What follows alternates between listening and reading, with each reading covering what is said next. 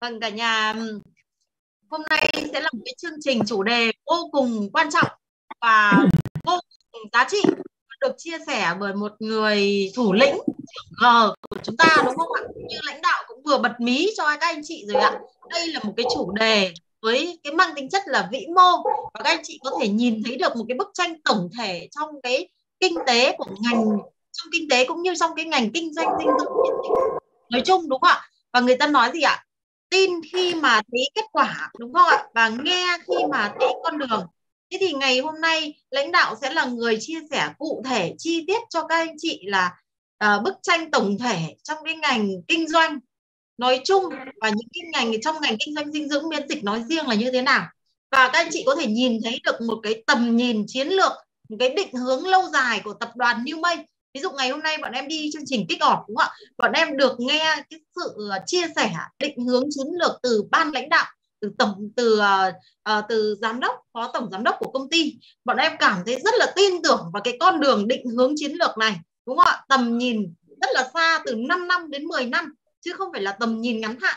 Vậy thì anh chị hợp tác với một tập đoàn có một cái tầm nhìn rõ ràng định hướng chiến lược rõ ràng.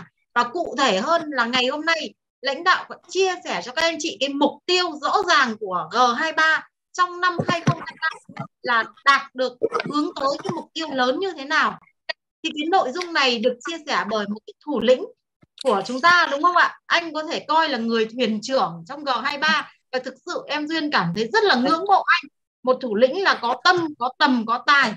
Và cảm thấy là rất là may mắn khi mà được uh, sự dẫn dắt cố vấn của anh mà các uh, trưởng e lớn chúng em hay uh, gọi anh là gia cát lượng một gia cát lượng sống thời uh, thời bình đấy đúng không ạ? Thế thì uh, ngày hôm nay G23 của mình rất là may mắn khi được anh chia sẻ một cái chủ đề nó cũng khá là mới. Và trước đây G23 ít khi chia sẻ đến đúng không ạ? Hoặc những cái mục tiêu bọn em có chia sẻ với cả nhà mình về mục tiêu ngắn hạn nhưng chưa có rõ ràng về những cái mục tiêu trung hạn dài hạn thì ngày hôm nay sẽ được chia sẻ bởi lãnh đạo của chúng ta. Đấy ạ và đấy chính là cái lời chia sẻ cũng như là cái tầm nhìn rất là xa của lãnh đạo. Là lãnh đạo năm sao đặng ngọc ngân. Thì cả nhà mình hãy dành một tràng số 2 thật là dài để cùng chào đón lên đây thủ lĩnh của chúng ta đúng không ạ? Dành cho thủ lĩnh của cái em năng lượng nhóm khác. dồi dào năng lượng cao để cùng đón nhận những cái kiến thức những cái kinh nghiệm những cái giá trị vô giá trong ngành kinh doanh này ạ. Vâng, xin mời cả nhà mình hãy chắn một tràng số 2 thật là dài lên phòng chat để cùng chào đón lãnh đạo năm sao Đặng Ngọc Ngân. Xin mời lãnh đạo ạ.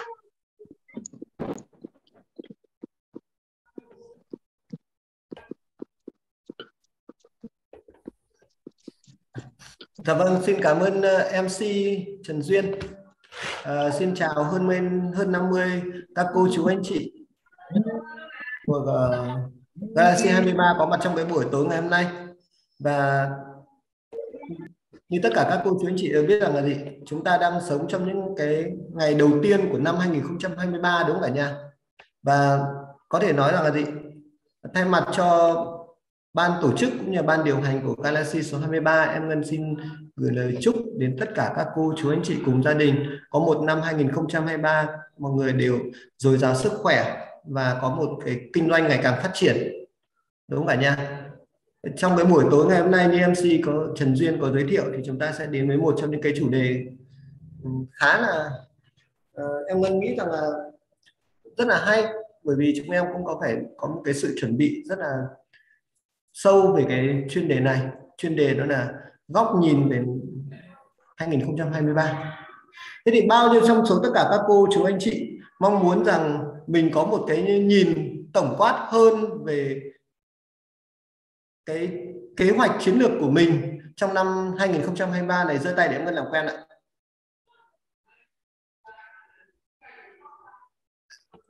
À vâng.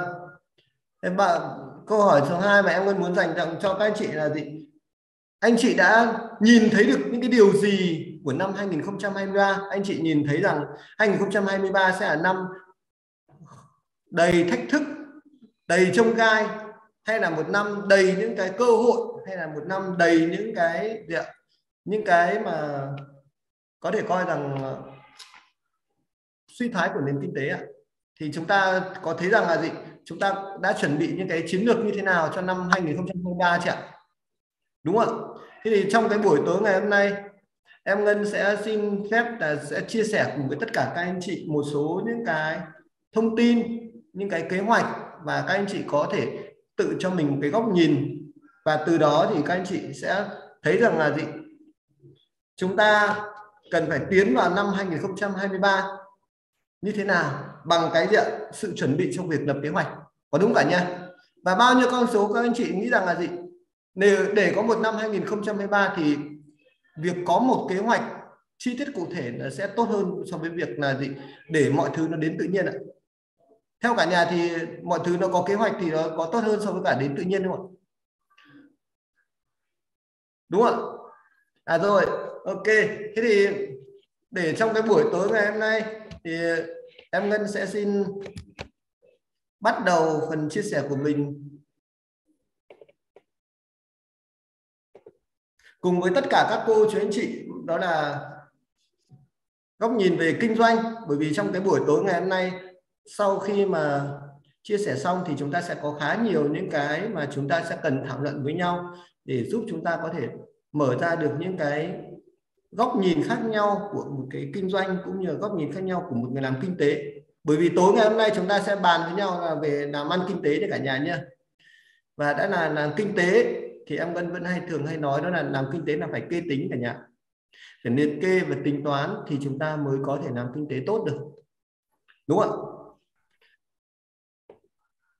nên mọi người cứ nhớ cái câu đầu tiên là kinh tế là kê gì kinh tế là kê tính. Kê tính đó là gì liệt kê và tính toán. Bởi trong New mây, chúng ta đang được đào tạo để trở thành những người làm gì những người làm kinh doanh. Nên chúng ta bắt buộc phải học về kinh tế.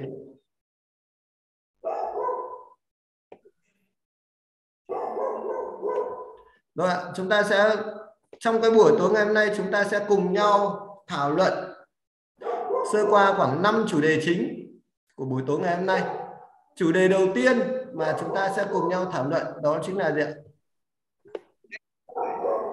Khi đánh giá hoặc khi thiết lập một kinh doanh, lập mục tiêu thì các anh chị dựa trên những cái tiêu chí nào?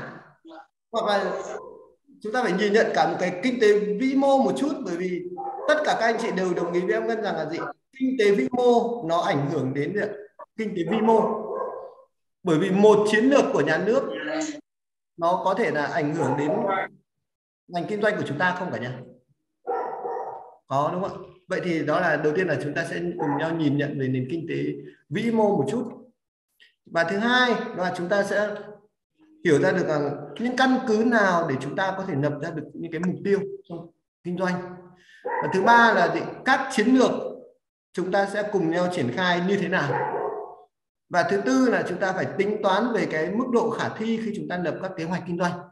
Và thứ năm là là chúng ta sẽ bắt đầu đi vào là hướng dẫn cụ thể về lập kế hoạch và mục tiêu cho năm 2023 và sau đó thì em Ngân sẽ để các anh chị có một chút thảo luận về việc chia sẻ những cái kế hoạch kinh doanh của các anh chị với với với những cái đội nhóm khác nhau thông qua cái việc chia chia nhỏ nhóm để các anh chị có thể có thêm những cái giao lưu trong cái buổi tối ngày hôm nay. Thì đó chính là năm cái chủ đề mà chúng ta sẽ cùng nhau trao đổi ngày hôm nay. Thì đầu tiên thì ờ, chúng ta sẽ đi vào chủ đề số 1 đó là kinh tế vĩ mô. Như tất cả các anh chị cũng thấy rằng là gì? Năm 2023 là một năm gì ạ được coi là một năm sẽ là đầy trông gai. Bởi vì ngay từ những thời điểm hiện tại thì các anh chị đã thấy rằng là gì? Sau 2 năm giãn cách xã hội ảnh hưởng của đại dịch covid thì mọi người có thấy bây giờ kinh tế là đang bắt đầu có những hậu quả không cả nhà? Đúng không thì chúng ta sẽ thấy rằng là gì? Rất nhiều những cái khu công nghiệp, thậm chí là gì? Công nhân hiện nay đã được nghỉ sớm. Ở đây bao nhiêu anh chị đã thấy rằng là các cái khu công nghiệp là thậm chí bây giờ là công nhân là không có việc ạ. À? giơ tay để em ngân làm quen được giơ tay để em ngân biết được có đúng cả nha. Rất nhiều các khu công nghiệp đã thậm chí là nghỉ sớm. Và thậm chí rằng là nếu các anh chị cần vào trong mạng thì các anh chị sẽ thấy rằng là gì? Hai công ty có thể coi là hàng đầu trên thế giới. Đó là Facebook và Twitter, thậm chí đã sa thải đến gần 50% số lượng nhân viên của mình. Và rất nhiều những nhà máy, những cái doanh nghiệp nhỏ, vừa rồi là khi gì ạ? Khi mà nhà nước thắt chặt về chính sách tiền tệ, thắt chặt về chính sách tài chính và nâng cái lãi suất ngân hàng, thì rất nhiều doanh nghiệp là thậm chí là còn bị gì cả nhà đóng cửa và phá sản có đúng cả nha vậy thì cái điều gì nó đang ảnh hưởng đến chúng ta? Đó là khi chúng ta lập một cái mục tiêu trong kinh doanh thì có rất nhiều những cái yếu tố ảnh hưởng. Và ngày hôm nay em Ngân xin chia sẻ với các anh chị một trong những cái công thức để các anh chị có thể nhìn nhận về kinh tế vĩ mô. Khi chúng ta muốn làm bất cứ một điều gì, không chỉ là trong kinh doanh new mây, mà trong cả kinh doanh cũng như là trong cuộc sống của tất cả các anh chị đó là chúng ta phải nhìn nhận. Và đây là có một cái công thức để các anh chị có thể nhìn nhận. Công thức này, công thức là tên là công thức Pestel thì đầu tiên, chúng ta muốn làm gì cũng được, nhưng mà chúng ta phải nhìn nhận rằng yếu tố chính trị. Yếu tố chính trị nó vô cùng quan trọng bởi vì chúng ta nhìn thấy rằng là gì? Ví dụ như là một cái cuộc chiến tranh của Nga và Ukraine. Nhìn thì thấy rằng là gì chúng ta có thấy chiến tranh ở tại Việt Nam không phải nhỉ? Không. Xong, các anh chị cũng thấy rằng là gì? Cái cuộc chiến này nó ảnh hưởng đến cái nền kinh tế của toàn cầu. Và nó cũng ảnh hưởng đến việc đến là khủng hoảng năng lượng và vừa rồi thì có rất nhiều cây xăng thậm chí là còn không có xăng để mà điện để mà bán hoặc là điện họ đóng cửa tạm thời. Và thứ hai ví dụ như là, là gì? Ờ, được, được cái là chúng ta là một cái quốc gia rất là ổn định về chính trị. Xong chúng ta cũng thấy rằng là gì? Nếu như mà chính trị mà trên toàn cầu nó diễn ra bất ổn nó cũng ảnh hưởng đến chúng ta rất là nhiều. Yếu tố thứ hai mà tất cả các anh chị cũng nhìn nhận đó là khi chúng ta làm kinh doanh thì chúng ta cần phải nhìn nhận yếu tố thứ hai đó là nền kinh tế. Vì nền kinh tế nếu như mà kinh tế phát triển thì rất là ok nhưng mà nếu như mà kinh tế mà đi xuống kinh tế đi xuống thì có phải sức mua của người tiêu dùng nó sẽ bị giảm đi không cả nhà? Có đúng không và khi mà sức mua của người tiêu dùng của bị giảm đi, hay ví dụ như là nền kinh tế, mà đặc biệt bây giờ là chúng ta thấy rằng nền kinh tế bây giờ là vừa rồi là gì nhiều doanh nghiệp đóng cửa và nhiều doanh nghiệp bị phá sản. Vậy theo tất cả các anh chị thì có phải là nhu cầu lao động và nhu cầu cần việc làm của người dân là rất là nhiều không cả nhà? Hay ví dụ như cái yếu tố mà tiếp theo mà nền kinh tế mà các anh chị có thể nhìn nhận thấy đó là gì đó là tỷ lệ lạm phát. Có ai quan tâm đến tỷ lệ lạm phát năm vừa qua không ạ? Và tỷ lệ lạm phát này nó liên quan đến điều gì cả nhỉ? Tỷ lệ lạm phát đó là gì đó là sự mất giá trị của đồng tiền. Đó là ngân hàng sẽ phải bơm tiền ra nhiều hơn để thúc đẩy nền kinh tế, nhưng mà đi kèm với đó là tốc độ lạm phát của nền kinh tế. Tốc độ lạm phát đó là gì? Chúng ta sẽ thấy rằng là gì? Cùng một số tiền, nhưng mà giá trị của đồng tiền nó sẽ bị gì cả nhà nó sẽ bị giảm đi. Khi mà giá trị của đồng tiền giảm đi thì ví dụ như cùng là một triệu đồng, nhưng mà chúng ta thấy rằng là gì? À giá trị của nó ngày càng ít đi. Vậy thì theo các anh chị nhé nếu như mà kinh tế mà lạm phát giá trị đồng tiền mà ít đi. Mà nếu như mà chúng ta làm kinh doanh mà một cái sản phẩm như New Email của công ty New Email mà giá của sản phẩm nó ổn định, thì có phải là gì? Nó sẽ, với người tiêu dùng khi người ta mua, năm này qua năm khác, có phải là người ta càng cảm thấy là giá là càng ngày càng rẻ đi không phải nhỉ? Có đúng không đây là thể chúng ta phải nhìn nhận. Nên cái việc và diện ờ, kinh tế là vô cùng quan trọng tiếp theo là xu hướng xã hội nha cả nhà nhá. Xu hướng xã hội đó là thể hiện cái gì cả nhà? Đó là thói quen, đó là hành vi của người tiêu dùng. Thì chúng ta cần quan tâm đến yếu tố này. Và yếu tố tiếp theo đó là yếu tố về công nghệ. Yếu tố công nghệ đó là gì ạ? Đó là các anh chị cần để ý xem rằng nếu ngày hôm nay muốn làm một cái công việc gì đó, chúng ta có cần phải áp dụng công nghệ không? Để làm kinh doanh. Và môi trường xã hội cũng như hành lang pháp lý cái yếu tố hành lang pháp lý này em Ngân cũng xin chia sẻ với tất cả các anh chị là một cái mà vô cùng quan trọng ảnh hưởng đến rất nhiều đến cái kinh doanh mà khi các anh chị muốn lập mục tiêu. Em Ngân lấy ví dụ. Ví dụ như là, là gì? Chúng ta là những nhà phân phối của New May Việt Nam. New May Việt Nam là một trong số những doanh nghiệp hoạt động theo hình thức bán hàng trực tiếp tại Việt Nam và như tất cả các anh chị biết rằng hiện nay thì trong ngành hàng bán hàng trực tiếp tại Việt Nam chúng ta có bao nhiêu doanh nghiệp vậy này? Chúng ta chỉ có 21 doanh nghiệp được cấp phép mà thôi. Có đúng cả nha? Các anh chị có biết rằng là gì? Trong năm 2021 vừa qua, dự thảo luật về bán hàng trực tiếp đã có rất nhiều thay đổi không phải nha? Có. Và chính những cái sự thay đổi đó, ví dụ như là gì? Khi các anh chị đi học các chương trình kích hợp của công ty đều được bên phòng pháp chế có chia sẻ về những cái sự thay đổi về hành lang pháp lý. Những cái yếu tố đó đều ảnh hưởng đến gì cả nhà Đến doanh nghiệp.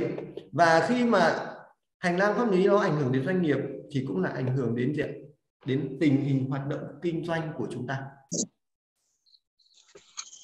ngoài ra thì chúng ta cũng thấy rằng đối với những doanh nghiệp mà các anh chị rất nhiều người thấy rằng là gì? Có những doanh nghiệp ngoài kia là hoạt động bán hàng tiếp nhưng mà không có được giấy phép. Thì đó là những doanh nghiệp là gì? Đó là những doanh nghiệp chưa có hành lang pháp lý. Như vậy thì nếu như mà chúng ta là nhà phân phối của những doanh nghiệp mà chưa có hành lang pháp lý thì rủi ro thuộc về ai cả nhà đó là rủi ro thuộc về nhà phân phối. Còn khi chúng ta là một nhà phân phối của một doanh nghiệp như Newmay có hành lang pháp lý thì chúng ta sẽ được doanh nghiệp đó hỗ trợ và bảo hộ. Điều này rất quan trọng nha cả nhà nha. em lấy ví dụ.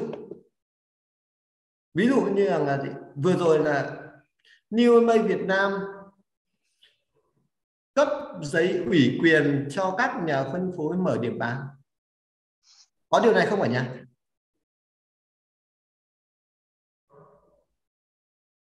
đúng không ạ? Vậy khi mà cấp giấy ủy quyền cho các nhà phân phối mở điểm bán tại nhà, thì nếu như mà các anh chị mở điểm bán tại nhà, tổ chức các hoạt động giới thiệu sản phẩm cơ quan chức năng đến kiểm tra. Các anh chị có yên tâm không?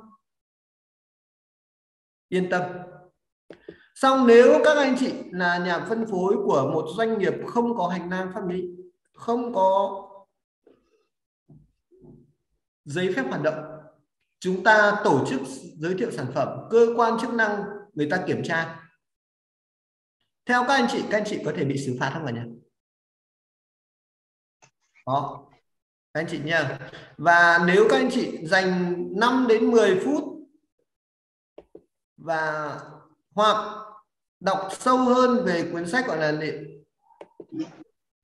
luật bán hàng đa cấp sửa đổi, thì chúng ta sẽ thấy rằng đối với luật bán hàng đa cấp sửa đổi hiện nay, hành lang pháp lý là khá là chặt chẽ.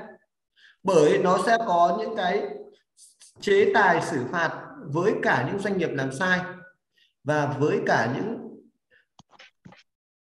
nhà phân phối làm sai. Thì theo đó là gì? những nhà phân phối là những nhà phân phối cho những công ty chưa có hành lang pháp lý, chưa có giấy phép. Thậm chí là còn có thể bị việc, bị đi tù hoặc bị xử phạt hành chính. Thì đó là cái quy định của của luật pháp Việt Nam. Thì em Ngân, trong cái buổi tối ngày hôm nay, em Ngân sẽ không đi sâu vào vấn đề này. Nhưng mà đây là một trong những cái công thức mà rất là hay để giúp cho các anh chị có thể xem xét để ý và đưa ra những cái dự đoán cũng như là đưa ra những cái kế hoạch cho bản thân mình trong cái năm 2022 không chỉ là trong cái ngành kinh doanh New May mà có thể là trong cả công việc của, của các anh chị. Và chúng ta đi vào số 2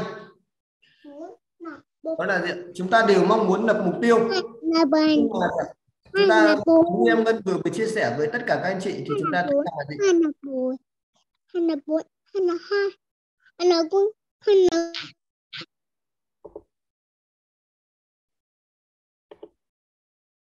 đó là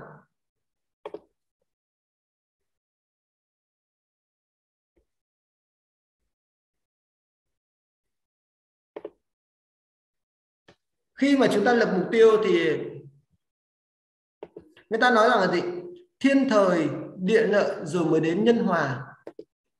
Nếu mà trong kinh doanh, các anh chị rất cố gắng, nhưng mà các anh chị mới có gì ạ?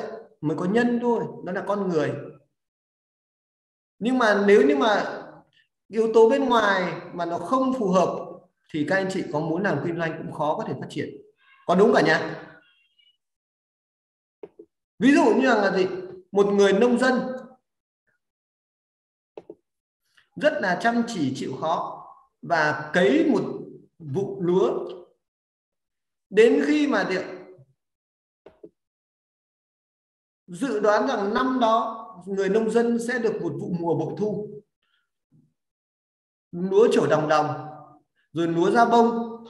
Khi bông đó đang chuẩn bị chín, chuẩn bị đến mùa thu hoạch, thì thời tiết lại có một trận bão to và trận bão đó đã làm cho gì ạ cả một cánh đồng lúa đó bị gì ạ bị đổ. Rồi sau đó là gì người nông dân bắt buộc phải thu hoạch những cái gì mà còn sót lại, đôi khi là rất là ít sau cái cơn bão đó. Thế thì theo các anh chị ở đây, rõ ràng là gì cả nhà người nông dân đó có cố gắng không cả nhà có cố gắng. Nhưng mà kết quả nhận được của người nông dân đâu có cao. Bởi vì sao như vậy? Bởi vì khi chúng ta làm bất cứ một cái điều gì thì yếu tố bên ngoài cũng sẽ ảnh hưởng đến với chuyện chúng ta. Nên đôi khi chúng ta vẫn thường nói với nhau rằng là gì? Sự lựa chọn quan trọng hơn sự nỗ lực mà rất nhiều người không hiểu rằng tại sao lựa chọn lại quan trọng bởi vì chính cái sự lựa chọn của chúng ta, đó là gì? Lựa chọn ở đây là gì? Đó là yếu tố thời điểm, yếu tố cơ hội. Đó là thiên thời đây cả nhà nhé. Và đó là mảnh đất mà chúng ta sẽ kinh doanh, mảnh đất mà chúng ta sẽ giao trồng. Đó là địa lợi. Vậy thiên thiên thời, địa lợi, đó là những cái yếu tố bên ngoài. Và khi mà các anh chị tìm một thấy một cái cơ hội kinh doanh hoặc một cái kinh doanh mà có gì ạ? Đúng vào những cái thời điểm. Thì các anh chị có thể là không phải là những người quá xuất sắc, kinh doanh của các anh chị vẫn sẽ phát triển. Nên trong tiếng Anh có một cái câu mà em Ngân rất là thích, đó là gì ạ? Nó có một cái câu đó là to be foreseen là to be forearned tức là nhìn thấy được trước thì sẽ kiếm được tiền còn đâu người nào mà không nhìn thấy được thì sẽ không có thể kiếm được tiền đâu. Cả nhà. Nên khi bắt đầu làm cái kinh doanh em vẫn biết chắc là một điều là gì? Ở trong phòng Zoom có thể có rất nhiều anh chị là những cái người mới hoặc có rất nhiều anh chị thậm chí là còn chưa phải là những cái nhà phân phối hoặc chưa hiểu sâu về kinh doanh này. Thì các anh chị cần phải tìm hiểu kỹ về, về yếu tố ngành yếu tố ngành là sự lựa chọn nha các anh chị nha. Khi các anh chị tìm hiểu kỹ về xu hướng ngành, tìm hiểu một chút về các doanh nghiệp đang hoạt động trong ngành, thì chúng ta sẽ thấy rằng là gì? Ngành bán hàng trực tiếp đang có những xu hướng như thế nào? Thì chúng ta đều thấy rằng là gì? Trong tất cả những cái doanh nghiệp và trong tất cả các kinh doanh hiện nay thì ngành chăm sóc sức khỏe và ngành chăm sóc sắc đẹp luôn luôn là ngành có gì cả nhà ngành kinh doanh không bao giờ bị lỗi thời bởi vì ngay cả trong ngành bán hàng truyền thống cũng vậy thôi nếu kể về các doanh nghiệp mà theo hình thức thương mại điện tử thì bốn trang thương mại điện tử lớn hiện nay bao gồm có gì ạ? có Shopee, có Lazada, vân vân. Thống kê về doanh số bán hàng của các trang thương mại điện tử. Doanh số bán hàng đến từ ngành dinh dưỡng và mỹ phẩm trên các trang thương mại điện tử đều đang đứng đầu. Vậy tức là gì? chúng ta phải hiểu về xu hướng ngành. Nên nếu mà chúng ta lựa chọn kinh doanh mà trong ngành gì? trong ngành sắc đẹp và ngành chăm sóc sức khỏe thì đó là đi đầu của toàn ngành thứ hai là trong ngành bán hàng trực tiếp.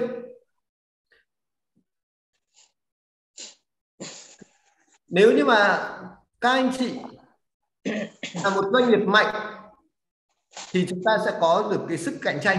Còn nếu các anh chị là một nhà phân phối của một doanh nghiệp không có sức cạnh tranh thì các anh chị sẽ khó có thể xây dựng được thị trường. Bao nhiêu các anh chị đồng ý với em ngân rằng là gì? Ưu thế cạnh tranh là vô cùng quan trọng trong kinh doanh này giơ tay để mình làm quen được ạ? Đúng cả nha. Bởi vì bởi vì sao như vậy? Bởi vì giả sử như ngày hôm nay, nếu như mà một cái doanh nghiệp kia cũng phân phối một sản phẩm không phải là alpha lipid mà cũng một sản phẩm thực phẩm bổ sung sữa non, với những thành phần ưu việt, với những giá trị dinh dưỡng ưu việt, với những công nghệ ưu việt hơn, theo các anh chị, thì các anh chị có tự tin rằng là doanh số bán hàng của các anh chị sẽ tăng trưởng không?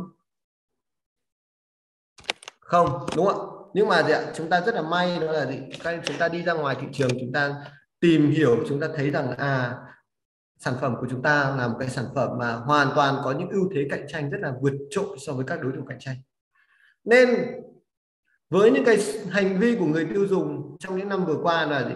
À, có rất nhiều cái xu hướng về việc chăm sóc sức khỏe thì chúng ta thấy rằng à cái ngành kinh doanh của chúng ta nó sẽ là gì nó sẽ ngày càng phát triển. Và đặc biệt là gì? Với những cái nhân sự dồi dào ở đất nước Việt Nam chúng ta, thì nếu như mà các anh chị có được, hiểu được cái ưu thế cạnh tranh của doanh nghiệp chúng ta, hiểu được các bài toán kinh tế mà chúng ta có thể đi chia sẻ tuyển dụng, thì em ngân tin chắc một điều là gì là các anh chị sẽ hoàn toàn có thể thúc đẩy được doanh số bán hàng của chúng ta tăng trưởng. Và doanh số của các anh chị sẽ ngày càng phát triển. Đó chính là cái mà các anh chị cần phải chú ý.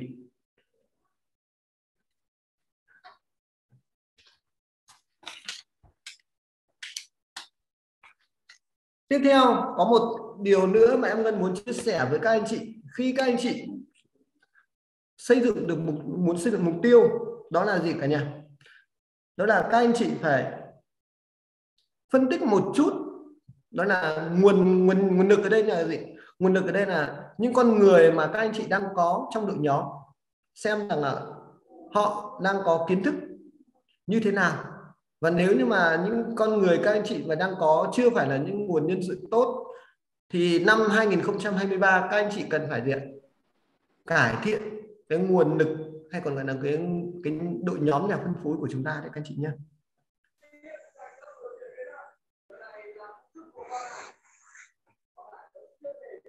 Một cái tiếp theo mà em ngân muốn chia sẻ với các anh chị, đó chính là gì ạ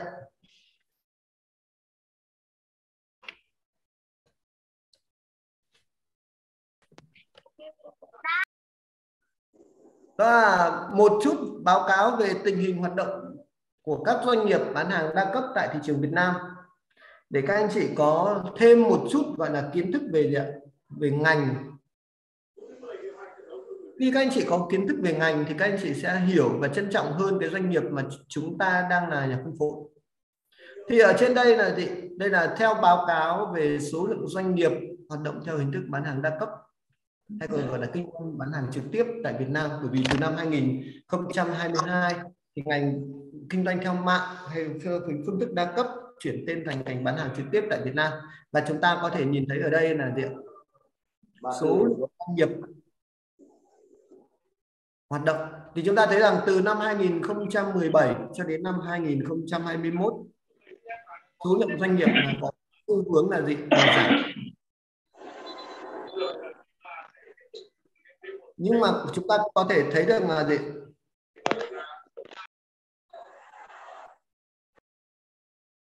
Và năm vừa rồi 2022 tiếp tục một doanh nghiệp là Siberi là bị rút giấy phép khỏi Việt Nam. Nên số lượng doanh nghiệp tính đến thời điểm hiện tại mà em Ngân đang ngồi đây đang chia sẻ với tất cả chị hiện nay là con đang còn bao nhiêu cả nhà còn 21 doanh nghiệp mà thôi. Nhưng mà chúng ta có thể nhìn, nhìn sang yếu tố số 2 đó là số lượng người tham gia vào hoạt động kinh doanh ở 21 doanh nghiệp. Thì theo báo cáo chính thức thì hiện nay là số lượng người tham gia theo hình thức bán hàng trực tiếp. Hiện nay là còn khoảng 831.607 người tham gia ở 21 doanh nghiệp. Anh chị nhé. Đây là của toàn ngành ạ. Của G23 ừ. chuyển cho mẹ. Sao biết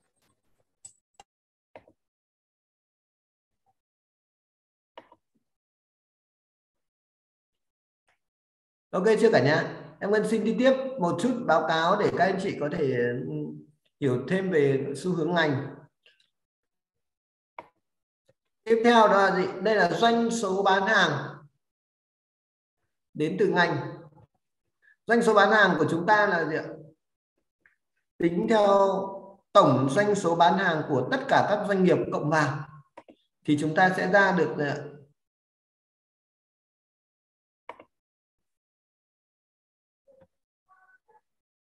doanh số bán hàng của ngành. Thì chúng ta thấy rằng là gì? Có một cái điều rất là lạ, đó là số doanh nghiệp thì giảm đi. Nhưng mà cả nhà có thể nhìn thấy rằng là gì? Doanh số bán hàng thì lại tăng lên. Có đúng cả nhà vậy điều này thể hiện cái điều gì ở đây ạ? Điều này thể hiện cho chúng ta rằng đó là những cái doanh nghiệp mà còn tồn tại là những doanh nghiệp hoạt động chân chính. Những doanh nghiệp còn tồn tại là những doanh nghiệp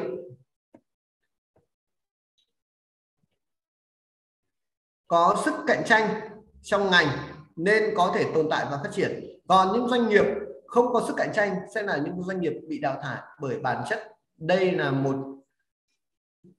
sự cạnh tranh giữa các doanh nghiệp với nhau. Cũng giống như vậy các anh chị để làm kinh doanh.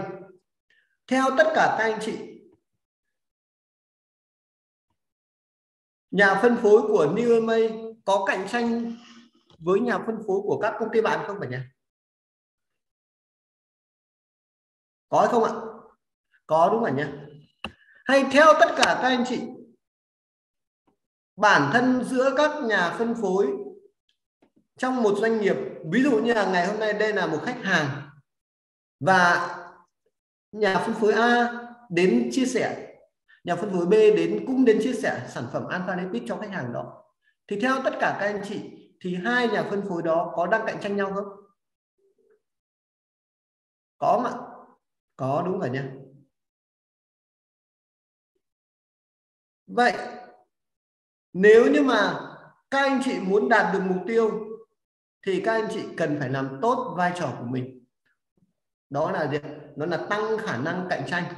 Đây là gì chơi là phải đẹp như cả nhà nhá. Tức là cạnh tranh là rất là phải sòng phẳng như cả nhà nhá. Cạnh tranh là cạnh tranh đẹp. Làm kinh doanh là tuân thủ luật pháp. Đó, thì chúng ta thấy rằng đây là cái doanh số bán hàng. Rồi ạ.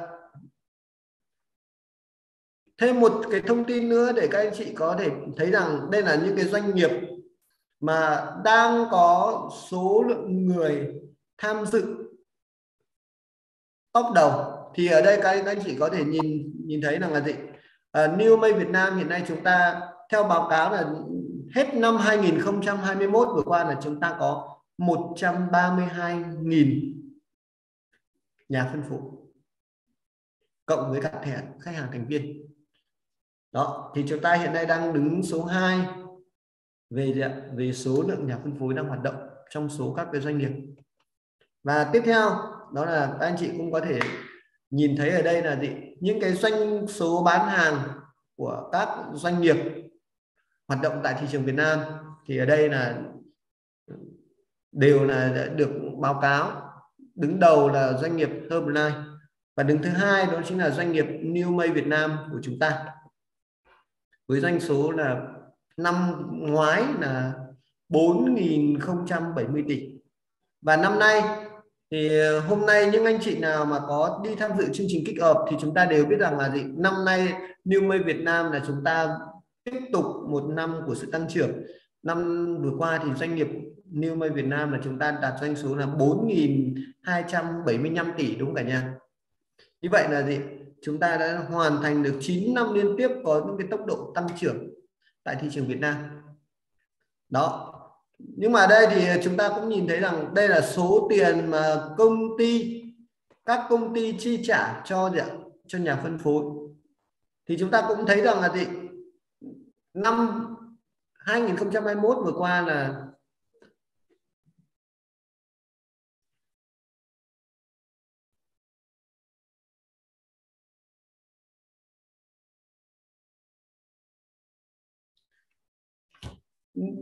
các doanh nghiệp là chi trả cho nhà phân phối số tiền là 5.937 tỷ đồng ạ.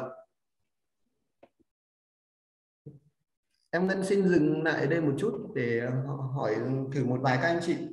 À, vừa xong thì em Ngân có chia sẻ với các anh chị một chút về cái gọi là xu hướng ngành để các anh chị có thể hiểu hơn về cái tình hình hoạt động kinh doanh của ngành bán hàng trực tiếp vừa xong khi em ngân vừa mới chia sẻ vậy thì anh chị ờ, phân tích được những cái dữ liệu nào trong cái xu hướng ngành đó? Em xin mời thử anh trường đi ạ. Anh trường ở hà nam ạ.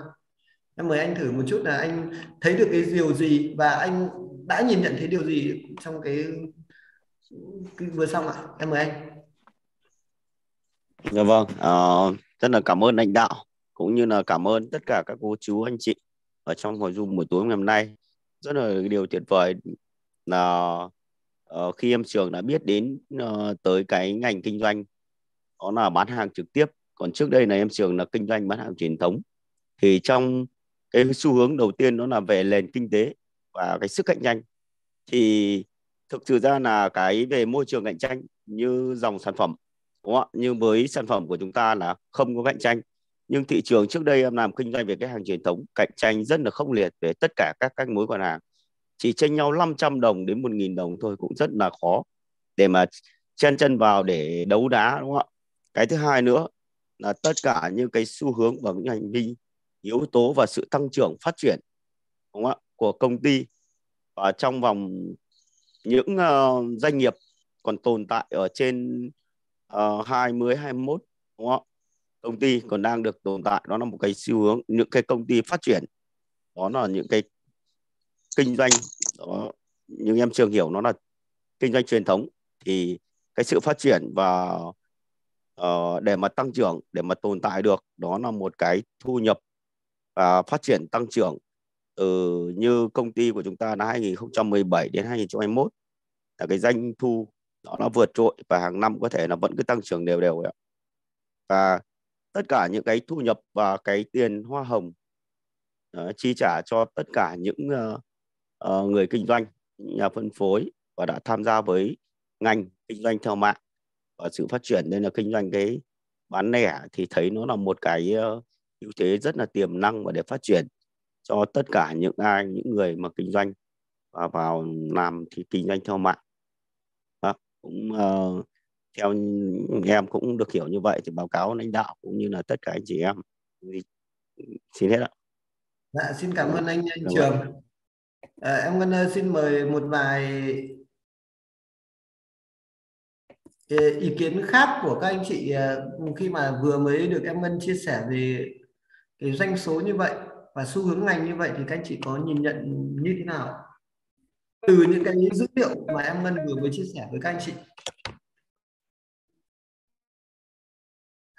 Chị Hồng Thu ở Nam Định muốn chia sẻ điều gì đúng không ạ?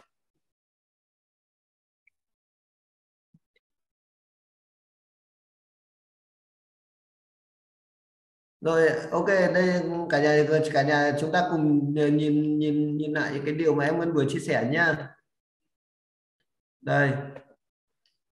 Vừa mới chia sẻ.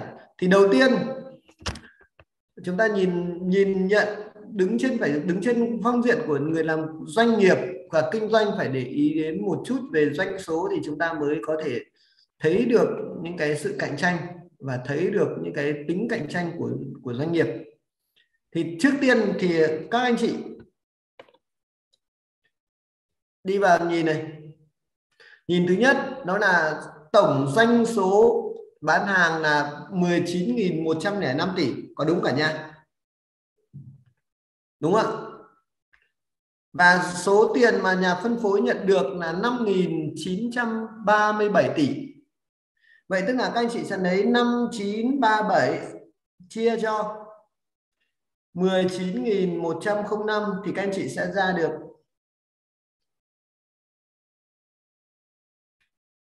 31%. Vậy tức là cái điều gì ở đây cả nhà? Đó chính là tổng số tiền nhà phân phối nhận được tương đương với 31% về mặt doanh số bán hàng. Cả nhà đã hiểu ý em Ngân chỗ này chưa? Chúng ta đều biết được rằng là gì? Các doanh nghiệp có chính sách trả thưởng chi trả là không vượt quá bao nhiêu bao nhiêu phần trăm cả nhà? Không vượt quá 40 phần trăm.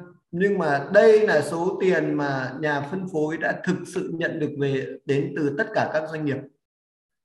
Đó là 31 phần trăm. Thứ hai, chúng ta lại nhìn thấy điều gì ở đây? Đây là doanh số bán hàng này. Cả nhà nhìn nhá năm doanh nghiệp đứng đầu có doanh số lên đến 17.000 tỷ. Bởi vì mọi người cộng thử 7.400 4.000 2.001 2.000 1.262 thì có phải nó ra gần 17.000 tỷ không? Thì tức là thì ạ, 5 doanh nghiệp đứng đầu đã có doanh số chiếm đến 87,6% doanh số của toàn ngành.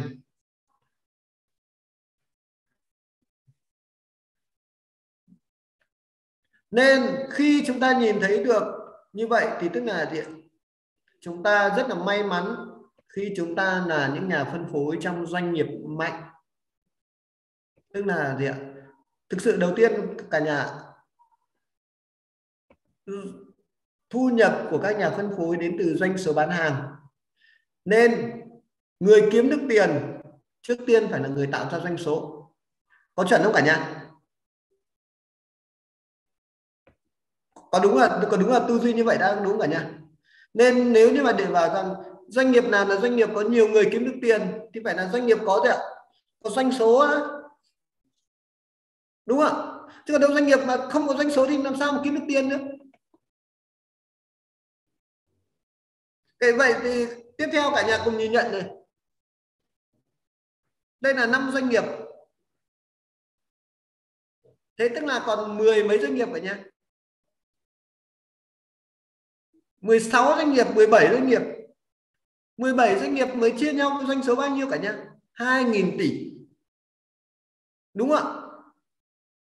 Thì tức là nếu như mà cả nhà lấy 2.000 tỷ chia cho bao nhiêu? 10 16 doanh nghiệp. Đúng không ạ? Tức là bình quân doanh số một năm của mỗi một doanh nghiệp còn lại có 100 bao nhiêu? 125 tỷ thôi. Tức là cái điều gì ở đây cả nhà? Cả nhà có biết doanh số bán hàng của G23 chúng ta thôi? Năm vừa qua chúng ta đạt bao nhiêu tỷ đúng không ạ? Năm vừa qua doanh số của G23 chúng ta chạm ngưỡng 170 tỷ. Tức là chỉ tính nguyên doanh số của Galaxy 23 chúng ta là cao hơn bình quân và cao hơn doanh số của khoảng 16 doanh nghiệp còn lại trong ngành bán hàng trực tiếp. Nên nếu như mà nhìn thấy được điều đấy thì các anh chị mới thấy được G23 là một cái cái tập thể có doanh số lớn như thế nào. Có đúng cả nhà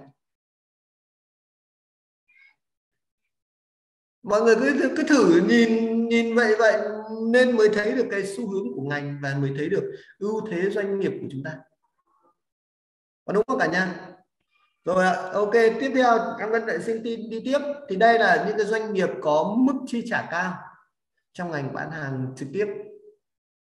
Trong ngành bán hàng trực tiếp thì mọi người nhìn thấy rằng à đây rồi. Đây là những cái số tiền mà những cái doanh nghiệp chi trả. Ok ví dụ như là à, New May là doanh nghiệp mà nhà phân phối chi trả thì công công ty chi trả là nhà phân phối nhận được là 1.400 tỷ đồng. Herb Herbalife là là doanh nghiệp là chi trả là 2.553 tỷ và Amway là, là chi trả là 629 tỷ. Ok không cả nhà? Thì nếu như mà lại một cái phép tính bởi vì chúng ta là người làm kinh tế các anh chị tính như này nha cả nhà nhá. Các anh chị lấy 1.400 tỷ đây là số tiền mà công ty New May chi trả cho nhà phân phối. Rồi các anh chị chia cho doanh số của công ty là 4.069 tỷ. Tức là nhà phân phối New May nhận được 34,4% đó. Vậy đây lại là một cái điều rất là tuyệt vời lại một ưu thế khi mà chúng ta làm nhà phân phối New May. Đó là gì ạ?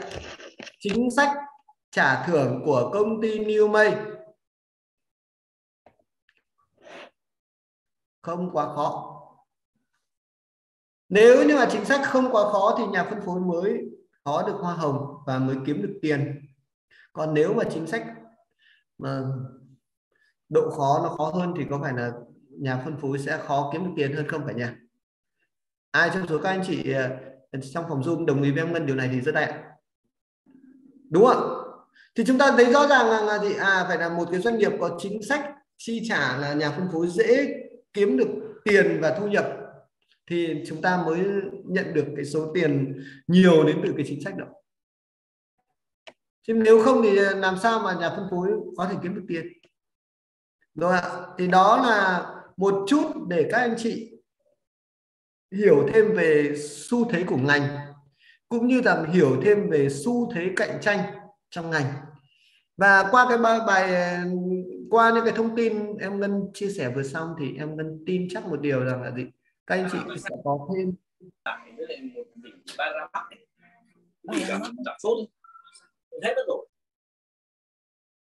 có thêm đó là gì? có thêm về cái góc nhìn nhận về sự lựa chọn doanh nghiệp của chúng ta và có thêm một số những cái góc nhìn nhận về gì về tình hình kinh doanh thực tế của New May so với một số những cái doanh nghiệp khác để chúng ta thấy được rằng đây là một cái doanh nghiệp có đầy đủ những cái yếu tố để chúng ta có thể yên tâm công tác và yên tâm làm việc. Ngoài ra thì đây cũng là một cái doanh nghiệp mà gì mà có chính sách, chế độ đãi ngộ cho các nhà phân phối rất là tốt. Rồi, ok. Vậy thì đứng trước một cái năm 2023 là một cái năm mà giống như em Ngân vừa mới chia sẻ với các anh chị một chút cả về cả về kinh tế, chính trị, môi trường tự nhiên, xã hội, hành lang pháp lý, vân vân. Có đúng không ạ? Và thứ hai đó là gì? là một cái năm mà chúng ta vừa mới nhìn nhận sơ qua một chút về cái xu hướng ngành. Thế thì câu hỏi đặt ra đó là gì? Tôi cần phải có những cái chiến lược nào? Đúng không ạ? Tôi cần phải có những cái chiêu thức nào để tôi có thể lên kế hoạch mục tiêu và có một cái kinh doanh thật là hiệu quả trong năm 2023 khi mà cái yếu tố vĩ mô nó là như vậy. Khi mà uh, thực tại của doanh nghiệp nó là như vậy. Thì em uh, uh, trước khi mà đi đến với phần tiếp theo thì em muốn hỏi thử trong trong phòng zoom của chúng ta ngày hôm nay với 102 tất cả các cô chú anh chị, thì à, anh chị à, có những cái điều gì muốn chia sẻ với mọi người về cái chiến lược của anh chị trong cái năm năm nay 2023 để làm thế nào để anh chị có những cái chiêu thức nào hoặc là cái cách thức anh chị sẽ dự định như thế nào để có năm nay thật là bùng nổ và thành công? Không chỉ là uh, trong cuộc sống mà còn cả trong kinh doanh New may không ạ? Cháu xin uh, xin mời thử mời chữ chú Tống Thành Đạt ạ. Chú là một người mà năm nay là hơn gì ạ? Hơn 70 tuổi rồi đúng không ạ? À, vậy là gì đã có rất nhiều những cái năm khác nhau rồi. Vậy thì mỗi một năm thì chú lại nhìn nhận thấy rằng là à, ngoài kia là yếu tố kinh tế xã hội là nó cũng có những cái sự thay đổi và năm vừa qua thì năm tới 2023 cháu vừa mới chia sẻ như vậy thì chú là, chú có thể chia sẻ là cái cái cái chiến lược của chú định trong năm 2023 là như thế nào chú mở mic được không ạ?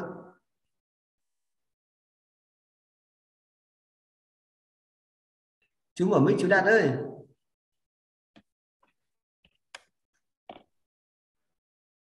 Dạ xin mời chú ạ. Vâng à, xin ờ, chào tất cả xin ờ, chào thủ lĩnh ngân và tất cả các uh, uh, nhà phân phối trong G23 hôm nay chúng ta trong phòng zoom thì uh, tôi thì là cái người mà đúng là như thủ lĩnh ngân vừa giới thiệu thì uh, tuổi thì cao Đấy. tuổi thì năm nay là cũng đã uh, sang tuổi 75 rồi Đấy. thì uh, nhưng mà được cái là uh, cũng uh, rất là là là ơn uh, thủ lĩnh ngân rồi thủ lĩnh đức đã giúp đỡ tôi là trong uh, uh, nhiều năm là uh, kinh doanh trong uh, uh, cái ngành nuôi mây này. Thứ hai nữa là tôi lại là uh, thấy rằng là sức khỏe của tôi là rất là ổn định nhờ vào cái sản phẩm của của, của công ty ta. Và cộng với hai nữa những cái năm uh, vừa qua thì uh, thấy công ty ta là một cái công ty uh, rất là tuyệt vời. Nói chung là À, một cái công ty mà tôi nghĩ rằng là cũng là một trong những công ty kiểu mẫu à, trong cái ngành à, kinh doanh bán hàng trực tiếp ở Việt Nam. Từ năm vào đến nay là không những mà hợp pháp hóa mà bên cạnh đó là phát triển rất là tốt. Đấy. mặc dù là trong cái điều kiện xã hội thì nó luôn luôn là là là là trao đảo. Nhiều công ty thì ngành nào nó cũng có cái ngành cạnh tranh mà ngành nào cũng có cạnh tranh lành mạnh nhưng mà ngành nào cũng có cạnh tranh là là là không lành mạnh. Ví dụ như là bên truyền thống thì người ta cũng cạnh tranh nhưng mà hầu như là người ta cạnh tranh không lành mạnh. Bên truyền thống là không có lành mạnh.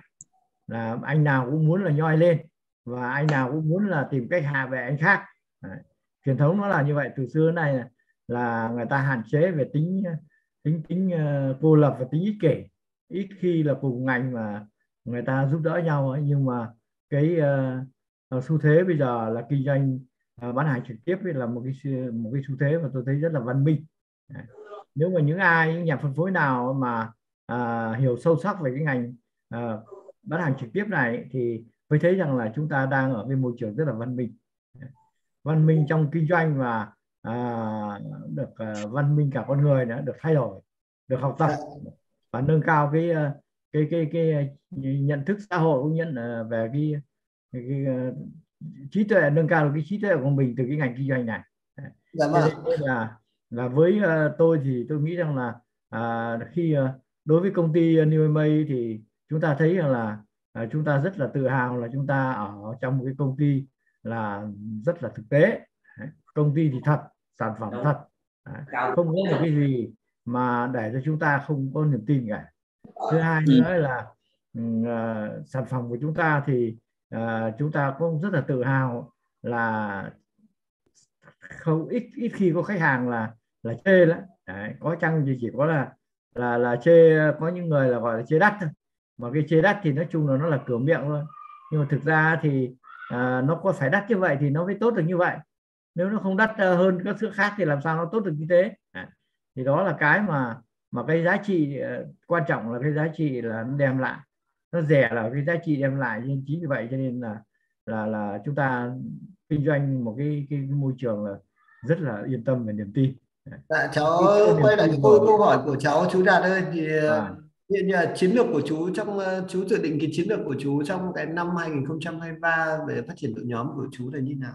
À chiến lược của của của tôi thì trong năm 2013 thì 23 ờ, vào năm 2023 đấy thì ờ, chiến lược của tôi là trước, trước tiên đấy là à, xây dựng ờ, phát triển à,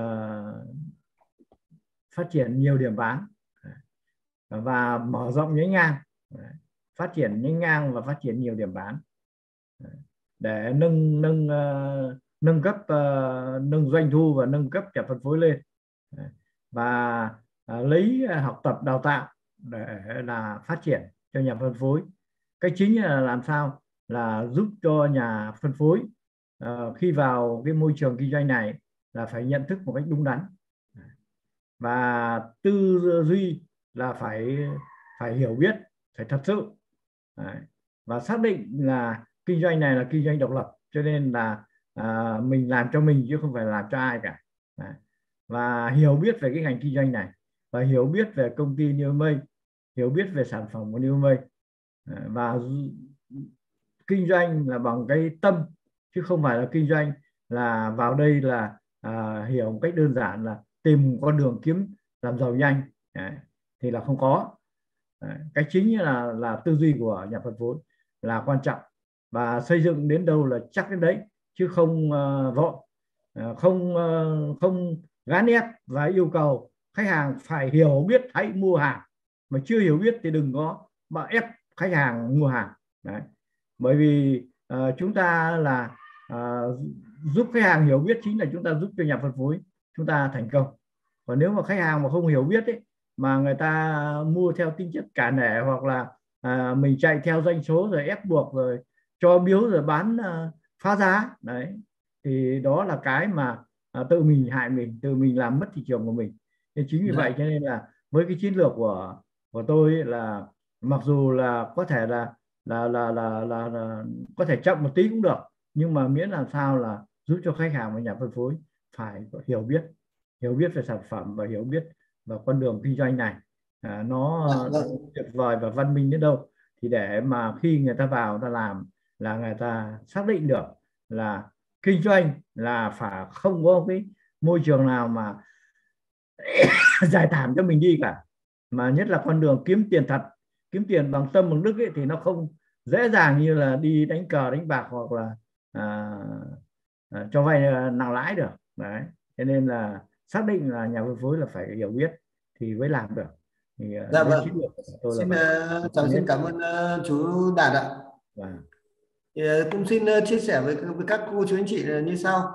Ví dụ như là nếu như mà trong cái năm tới mà chiến lược của các anh chị mà tập trung vào bề sâu thì đội nhóm của các anh chị sẽ bền vững. Tập trung vào bề ngang thì các anh chị sẽ mở rộng và có thể gia tăng thu nhập, các anh chị nhớ nên khi người làm kinh doanh là các anh chị phải để ý chiến lược khác nhau, tùy vào từng diện từng tính chất, từng sơ đồ tuyến của những nhà phân phối không có giống nhau bởi vì chúng ta thấy rằng là nếu mà tập trung vào bề sâu là gì? Có độ bền vững tập trung vào bề ngang là có gì là có thu nhập. Đúng cả nha đó rất là rõ ràng là, là như vậy. Tập trung vào bề ngang là có thu nhập và tập trung bề sâu là có gì có sự bền vững. Ok thế thì ở đây xin chia sẻ với một, anh chị một cái góc nhìn để các anh chị xem rằng khi chúng ta làm kinh doanh thì năm tới 2023 với phương diện là một cái người trưởng nhóm với phương diện là một cái người làm kinh doanh thì các anh chị nên tập trung vào đâu? Em lấy ngân lấy ví dụ. Đây là một cái mà chúng ta cũng đang coi bóng đá đúng không nhỉ? À, chúng ta thấy rằng là gì một đội bóng là có khoảng 11 cầu thủ. Thì trong số 11 cầu thủ đấy thì bao gồm có bốn cái bộ phận. Thứ nhất là thủ môn thứ hai đó là hậu vệ. Thứ ba là tiền vệ và số 4 là tiền điện, là tiền đạo. Còn có đúng có đúng là như vậy không ờ, cả các anh ờ, mọi người xem bóng đá đúng không ạ? Và nếu như mà ở đây thì chúng ta thử thử coi là là gì? Nếu coi thủ môn là bộ phận thu nhập hàng hậu vệ, đó là gì ạ? là cái hệ thống đào tạo và hàng tiền vệ đó là hệ thống đòn bẩy về marketing, là truyền thông, là tuyển dụng. Và hàng tiền đạo đó là đội ngũ, đội nhóm, những nhà phân phối của các anh chị đi bán hàng và ra doanh số. Thế thì rõ ràng một cái điều ở đây là gì? Chúng ta phải biết được rằng là gì? Mỗi một giai đoạn, mỗi một thời điểm, chúng ta cần phải tập trung vào gì tập trung vào đâu? Có đúng cả nha bởi vì sao? Bởi vì khi mà chúng ta tập trung nâng cấp đội ngũ doanh số, đội ngũ bán hàng, thì bắt buộc muốn như vậy thì chúng ta phải nâng cao khâu gì cả nhà khâu đào tạo. Chúng ta muốn tập trung để ra được nhiều người thì chúng ta vừa phải kết hợp đào tạo, vừa phải kết hợp sự kiện thì chúng ta mới gia tăng được cái thu nhập bởi vì kinh doanh này nó giống hệt như bóng đá vậy thôi cả nhà. Nó là một bộ môn gì? Nó là một bộ môn tập thể chứ nó không phải là một bộ môn cá thể cả nhà nhé đội bóng cũng như vậy các anh chị ạ. Nếu như mà gì ạ?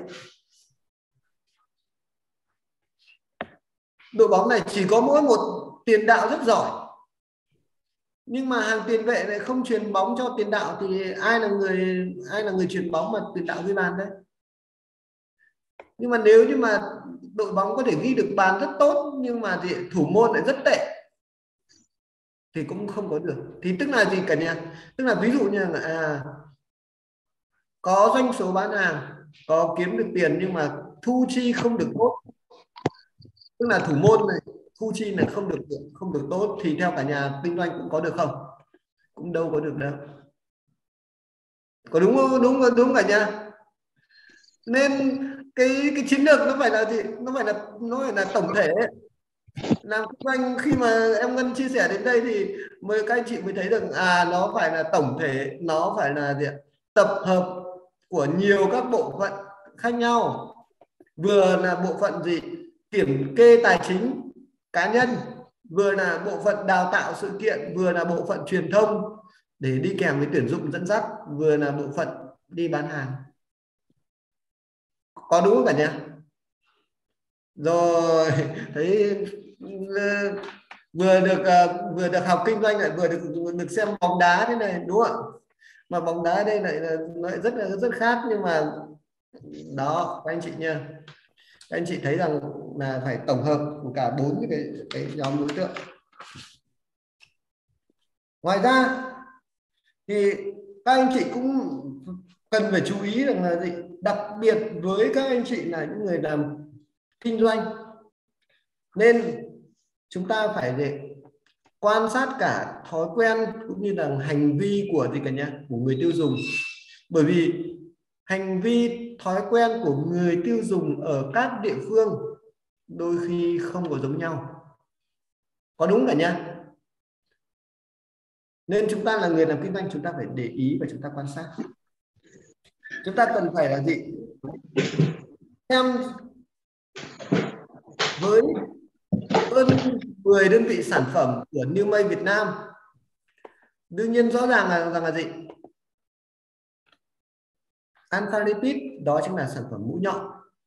Bên cạnh đó thì chúng ta còn có một số các cái sản phẩm vệ tinh.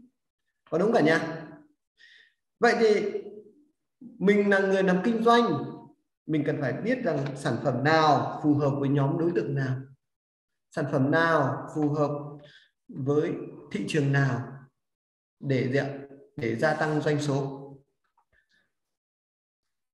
Cũng giống như vậy thì chúng ta là người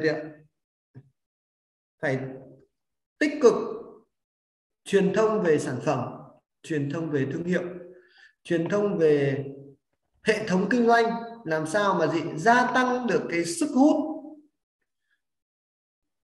của sản phẩm, gia tăng được cái sức hút của cơ hội kinh doanh của chúng ta thì chúng ta sẽ tuyển dụng được những nhân tài. Truyền thông về đội nhóm truyền thông được về tổ chức thì các anh chị sẽ có thể tuyển dụng được những đội nhóm khác, tuyển dụng được những hệ thống khác. Các anh chị nhớ nha. Và với với những cái đội ngũ đi bán hàng thì các anh chị phải hướng dẫn họ là tập trung, phải thuần thục và có kiến thức chuyên sâu về những cái sản phẩm mũi nhọn mà sản phẩm alpha lipid thì như vậy thì sẽ có thể là phát triển được cái kinh doanh rất là tốt. Ừ. thế đó là cái chiến lược đầu tiên mà chia sẻ với cả nhà. Cả nhà thấy như vậy là mọi người đã đưa ra được cái chiến lược cho bản thân mình chưa đó, xem rằng là gì?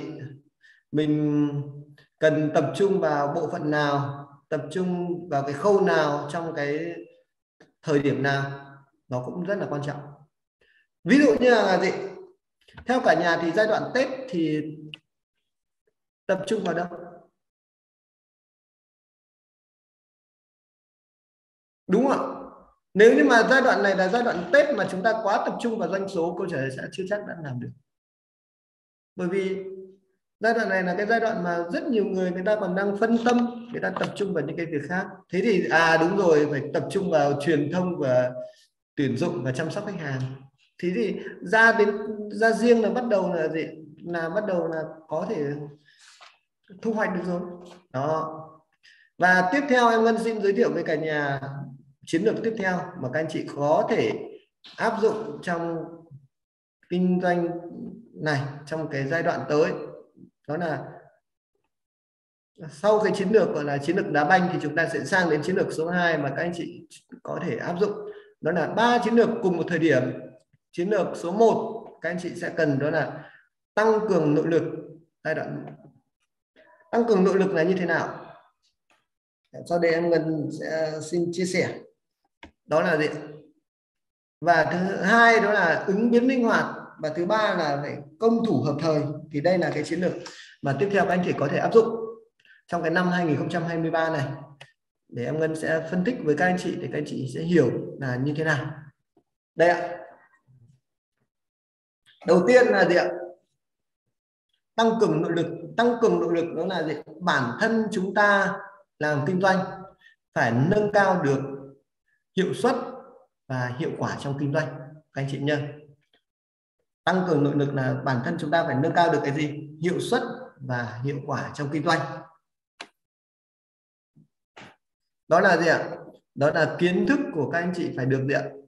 Phải được nâng lên đó là gì ạ? Đó là tâm thái khi đi chia sẻ, các anh chị phải tự tin lên.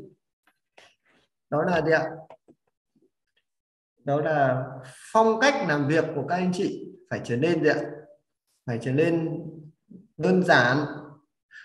Chia sẻ là khách hàng là dễ tiếp thu, dễ đón nhận. Thì đây gọi là gì? Con người các anh chị là phải gì ạ? Tăng cường nội lực. Có như vậy thì hiệu quả của các anh chị mới được nâng cao. Cả nhà chú ý nhé, doanh số bán hàng đến từ từng thành viên. Khi mà mỗi một thành viên trở nên chuyên nghiệp hơn, trở nên hiệu quả hơn thì doanh số bán hàng của đội nhóm đây có tăng không cả nhà? Có tăng, đúng cả nhà? Nên các anh chị phải chú ý, đó là đầu tiên đó là phải gì ạ? Tăng cường nội lực, cả nhà nhá. Thứ hai, đó là gì ạ? Phải ứng biến linh hoạt. Ứng biến linh hoạt đó là gì cả nhà làm kinh doanh là phải gì ạ, là phải linh hoạt. Làm kinh kinh doanh là không được gì cả nhà không được cứng nhắc. Làm kinh doanh là phải gì ạ? Là phải sẵn sàng chuyển đổi, sẵn sàng tiếp thu những cái ý kiến. Những ý kiến nào được cho là đúng là chúng ta phải gì là phải tiếp thu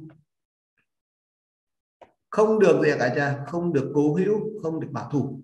Không tự cho mình là đúng ứng biến linh hoạt ở đây còn thể hiện là gì? Nếu một thị trường đã tập trung triển khai trong một thời gian dài mà chưa thấy ra kết quả thì phải sẵn sàng tập trung mở rộng các vùng thị trường mới.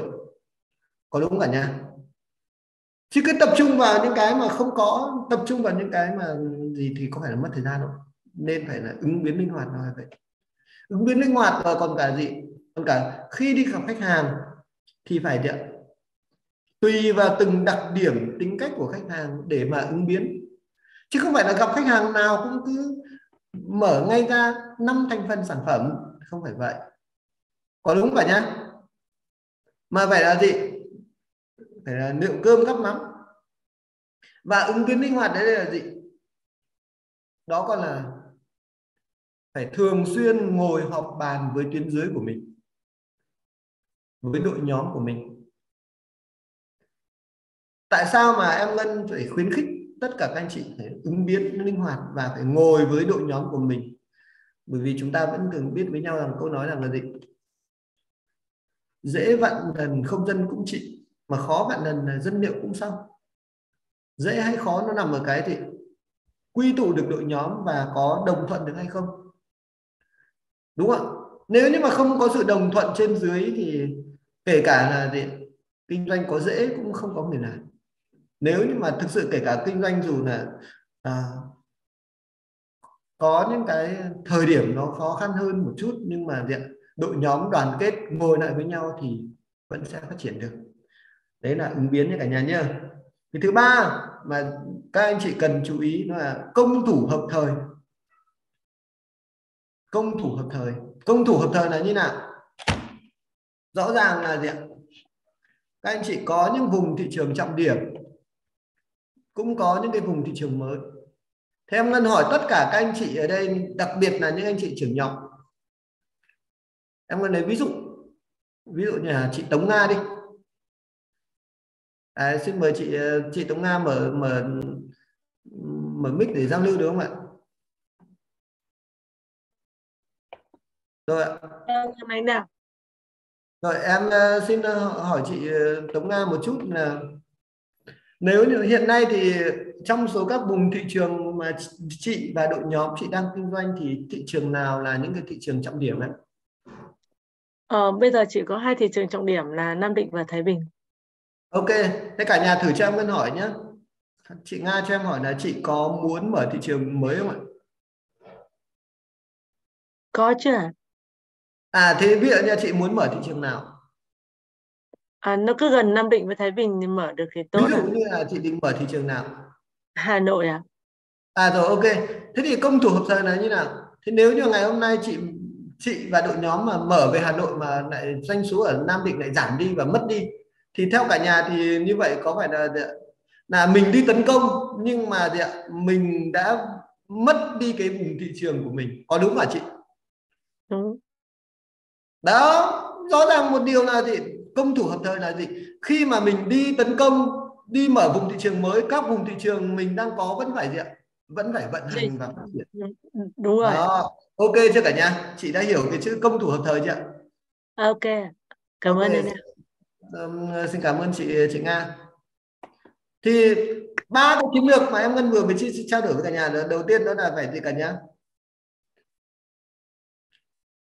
là phát triển nội lực. Đó là con người chúng ta không còn là con người của 2022 nữa. Mà chúng ta đã là con người của 2023 rồi. Thời cơ mới rồi thời điểm mới rồi vận hội mới rồi. Thì chúng ta cũng phải thay đổi đi thứ hai đó là gì? Là làm kinh doanh là ứng biến linh hoạt. Và thứ ba đó là công thủ hợp thời là gì? Những thị trường nào là những cái vùng thị trường trọng điểm, những khách hàng nào là những khách hàng tiêu dùng trong tay tránh trong trường hợp là gì có những khách hàng mới thì lại mất đi những khách hàng cũ. Có những vùng thị trường mới lại mất đi những vùng thị trường cũ. Như vậy thì đâu phải là mở rộng. Mà phải phải xác định rằng là gì thị trường nào làm là phải ổn định, là phải chắc chắn là phải xây dựng cái ekip đó đó, thì vừa xong là chúng ta vừa mới đi qua đó là gì nó là bốn cái phần, đó là gì? đó là nhìn nhận về nền kinh tế vĩ mô yếu tố thứ hai đó là gì? đó là các căn cứ để có thể đưa vào những cái kinh doanh. Và thứ ba là các chiến lược trong kinh doanh. Nhưng mà chúng ta sẽ sang đến cái yếu tố số 4 cái yếu tố số 4 đó là rất là quan trọng, dành cho, đặc biệt là dành cho những anh chị là những người trưởng nhóm nha cả nhà nha yếu tố số 4 đó là tính khả thi trong kinh doanh. Đây là dành cho những anh chị là những người trưởng nhóm, bởi vì nó sẽ vô cùng quan trọng.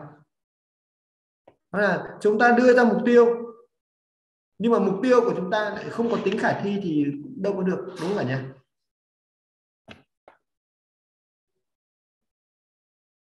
em ngân đấy không ờ, ờ, không có, ở đây, trong phòng zoom hôm nay là không có chị có chị ánh không nhỉ?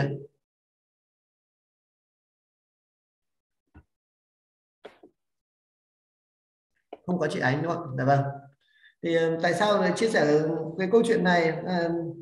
Tính khả thi là như nào? Đó là Ờ, khi chúng ta đưa ra mục tiêu là chúng ta phải phải tính tính toán xem là cái mục tiêu đó chúng ta có thể đạt được nó hay không. Ví dụ như là năm 2019 2020 gì đó, thì khi mà em Ngân có dịp ngồi cùng với chị Ánh, thì khi đấy là có trao đổi với chị về việc ờ, xây dựng và đưa ra cái mục tiêu của năm năm tiếp theo thì chị Ánh, chị xây dựng một cái mục tiêu là cứ tháng sau tăng hơn tháng trước 7 phần trăm. Tức là ví dụ như là tháng này là đội nhóm các anh chị là 100 non, tháng sau là cứ thế là nhân 7 phần trăm, tháng sau nữa là nhân 7 phần trăm. Mọi người đã hiểu cái cái này chưa ví dụ như là à mục tiêu của chị Ánh, ví dụ như là tháng thứ nhất là tháng riêng là 100 lon thì tháng thứ hai là 107 lon tháng thứ ba là 107 nhân với cả 1,07 nhân với một là 114 non và cứ như thế. Thì khi đấy tại thời điểm đấy em Ngân mới trao đổi với chị Ánh. Ok việc chị ờ, tăng 7 phần trăm em Ngân hoàn toàn đồng ý. Xong chị phải nhìn cả một cái yếu tố tổng thể là công ty tăng trưởng bao nhiêu và các đội nhóm khác thì như thế nào và những con người chị đang có và kết thúc cái năm đó, thì cái điều gì xảy ra cả nhà biết không ạ? Đó là doanh số đạt được thì rất là xa so với cả mục tiêu mà chị đã đề ra đầu năm. Như vậy là mục tiêu nó có khả thi không cả nhà? Không khả thi, đúng không ạ? Thế thì khi xây dựng được mục tiêu, chúng ta phải đo lường mục tiêu.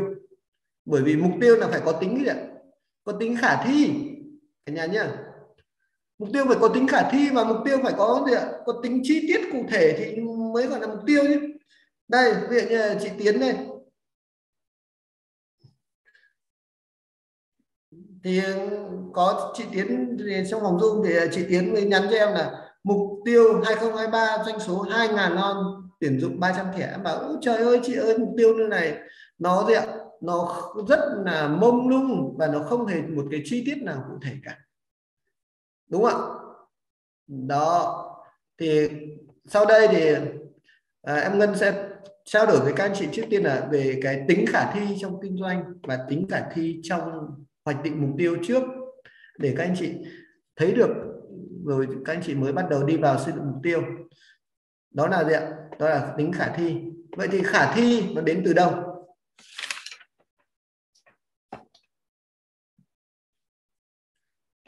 Tính khả thi trong thực hiện mục tiêu. Khả thi thứ nhất, các anh chị phải chú ý, muốn khả thi là phải đo lường. Tức là bản thân chúng ta đưa ra mục tiêu, chúng ta phải đo lường mục tiêu, phải kiểm soát mục tiêu và phải liên tục điều chỉnh hành vi để đạt được mục tiêu. Cả nhà nhá, muốn khả thi là phải đo gì phải đo lường ví dụ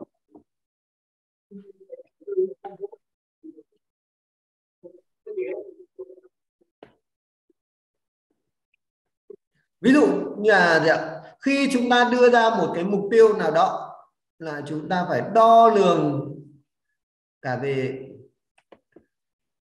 hành vi em ngân lấy ví dụ, vừa xong là em ngân vừa mới chưa được trao đổi với cả nhà là tăng cường nội lực là gì?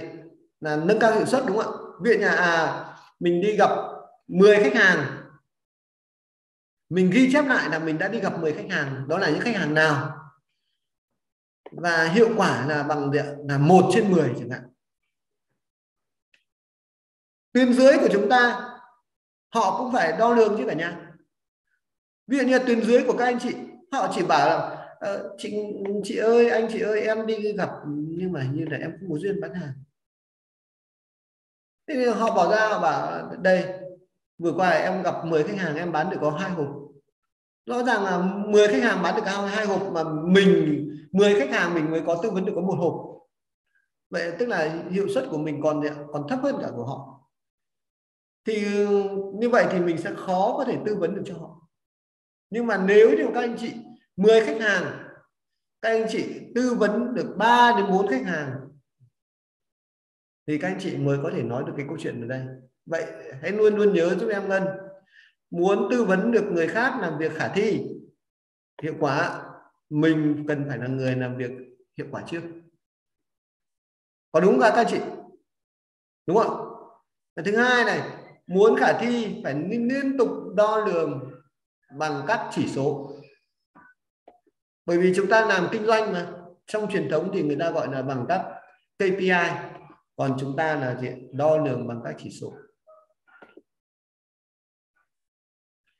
Tiếp theo, đó là gì cả nhà? Đó là mỗi một vị trí đều cần phải có mục tiêu. Mỗi một vị trí đều cần phải có mục tiêu. Mỗi một vị trí đều cần có mục tiêu. Ví dụ như là gì vừa xong em ngân vừa mới chia sẻ với cả nhà là cái đội hình bóng đá đi. Cũng giống như bây giờ ngày hôm nay các anh chị xây dựng một cái ekip để tổ chức sự kiện. Đó là có MC đó là có người chia sẻ, đó là có người chia sẻ nhân chứng. Thế mục tiêu có phải của MC có phải là phải là gì? Phải là dẫn dắt được câu chuyện, phải là tổng hợp được thông tin. Có đúng không cả nhá? Thế còn mục tiêu của người đi chia sẻ ngày hôm đó phải là gì? Làm sao mà truyền tải được thông tin một cách cụ thể? Và mục tiêu của những người nên chia sẻ câu chuyện nhân chính là gì? Câu chuyện của mình phải là niềm cảm hứng, phải là truyền được cảm hứng dành cho cái người nghe. Có đúng cả nhá? Nên khi chúng ta làm kinh doanh như vậy thôi. Ở vị trí nào các anh chị phải hiểu được vai trò thì mình mới mới biết được là phải lập kế hoạch. Và tiếp theo, một cái yếu tố nữa mà các anh chị chú ý đó chính là nếu các anh chị là một nhà phân phối trong một tổ chức mạnh, thì các anh chị sẽ nhận được rất nhiều những cái sự hỗ trợ từ tổ chức. Ví dụ, ngày hôm nay các anh chị không có trong tổ chức nào hoặc trong một galaxy mà không có nhiều hoạt động đào tạo, không có nhiều hoạt động định hướng, theo tất cả các anh chị, các anh chị có thể phát triển và có được mục tiêu phát triển tốt cho đội nhóm của các anh chị hay không? Không, đúng cả nhé. Xong nếu ngày hôm nay các anh chị là một nhà phân phối của một galaxy với những cái đội nhóm có chương trình đào tạo sự kiện rất là tốt. Các anh chị có thể tận dụng những cái điều đó để phát triển đội nhóm kinh doanh của mình được không? Có đúng không nha. Như vậy thì chính những cái sự hỗ trợ từ Galaxy mà các anh chị đôi khi chưa nhìn thấy, nó sẽ giúp cho các anh chị đạt được mục tiêu. Hay ví dụ, các anh chị chia sẻ cơ hội kinh doanh cho một cái người này. Nhưng mà mãi họ vẫn chưa ra quyết định kinh doanh. Đến khi họ vào một cái buổi dự sự kiện hoặc một cái chương trình đào tạo của Galaxy họ thấy được cái mà họ muốn nhận được từ cái kinh doanh này. Họ ra quyết định kinh doanh và họ thành công. Như vậy có giúp anh chị đạt được mục tiêu không? Có đúng không cả nhà? Như vậy thì cái điều gì ở đây? Chúng ta hiểu được rằng là gì? Cái tổ chức là vô cùng quan trọng. Các anh chị nhớ nhé. Và tính khả thi tiếp theo đó là phải đồng bộ triển khai. Cái sự đồng bộ này cũng rất là quan trọng. Sự đồng bộ này nó thể hiện rằng là gì? Chúng ta không phải là triển khai ở một khu vực mà chúng ta triển khai ở nhiều khu vực. Chúng ta không triển khai ở một đội nhóm mà chúng ta triển khai ở nhiều đội nhóm. Cùng với một cái gì cùng với cái, một cái mô đồ hay gọi là cùng với một phương thức, cùng một kiểu mẫu giống nhau và muốn được khả thi thì phải phải chia nhỏ mục tiêu. Chia nhỏ mục tiêu là như nào? Chia nhỏ mục tiêu là ví dụ các anh chị tháng này mục tiêu của đội nhóm các anh chị bán là 100 lon sản phẩm. Thì rõ ràng là gì? À, các anh chị phải có một mục tiêu tuần. Ví dụ như à, tuần 1 mục tiêu bán hàng của các anh chị là 20 lon tuần 2 là 25 lon. Tuần 3 là 25 lon. Tuần 4 là 30 lon. Như vậy thì nó sẽ có khả thi không cả nhà?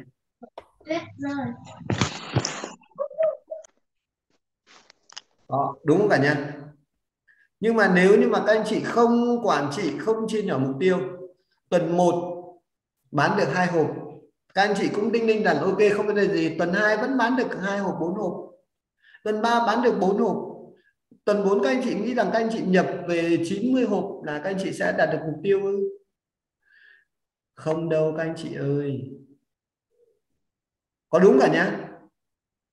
Mà về mục tiêu phải là gì? Phải chia nhỏ mục tiêu. Ví dụ như là mục tiêu cá nhân của anh chị tháng này. Ví dụ như là mục tiêu cá nhân là bán được 20 non sản phẩm đến 25 non thì mỗi một tuần các anh chị cần phải bán tối thiểu bao nhiêu? Nhưng tuần 1 phải bán 4 đến 6 lon. Đúng hả cả nhà. Thì đây gọi là chia nhỏ mục tiêu. Chia nhỏ mục tiêu và quản trị cộng điều chỉnh hành vi cộng linh hoạt thì khi đấy thì mới gọi là có tính khả thi như các anh chị nha.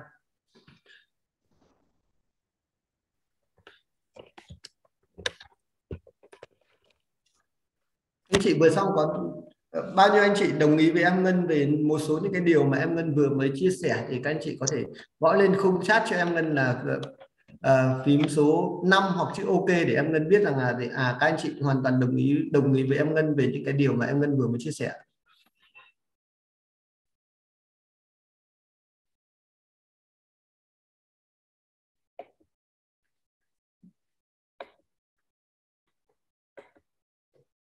À dạ vâng, em Ngân thấy rất nhiều số năm thì tức là các anh chị đã đồng ý và đã hiểu những cái điều mà em Ngân vừa chia sẻ đúng không ạ? Thì sau đây thì em Ngân sẽ hướng dẫn các anh chị đó là xây dựng mục tiêu cho 6 tháng đến 1 năm của năm 2023. Xây dựng mục tiêu cho 6 tháng đến 1 năm của năm 2023.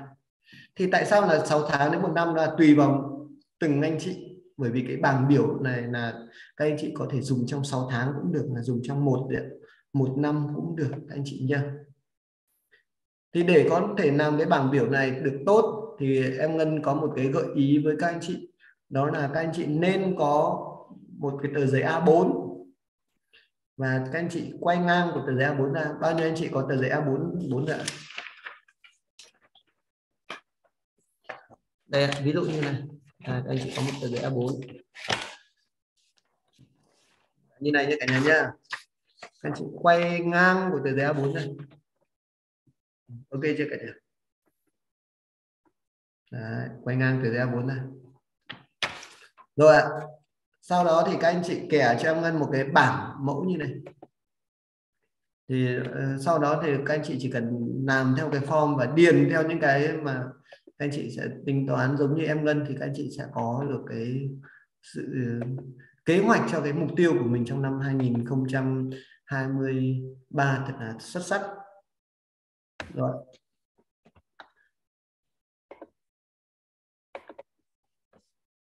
Đó, thì um, cái bảng mà chúng ta phải muốn tính toán cho năm 2023 nó phải vừa phải hội tụ được cả bốn yếu tố cả yếu tố thứ nhất đó là gì ạ? chúng ta phải nhìn thấy được cái nền kinh tế, nó sẽ đi về đâu?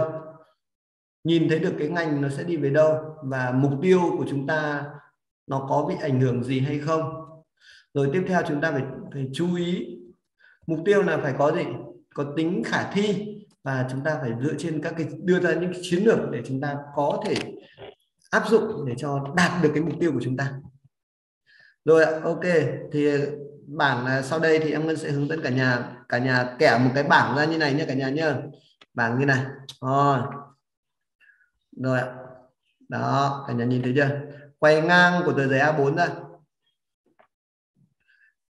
Ghi là bảng quản trị mục tiêu trong kinh doanh New May 2023 Đấy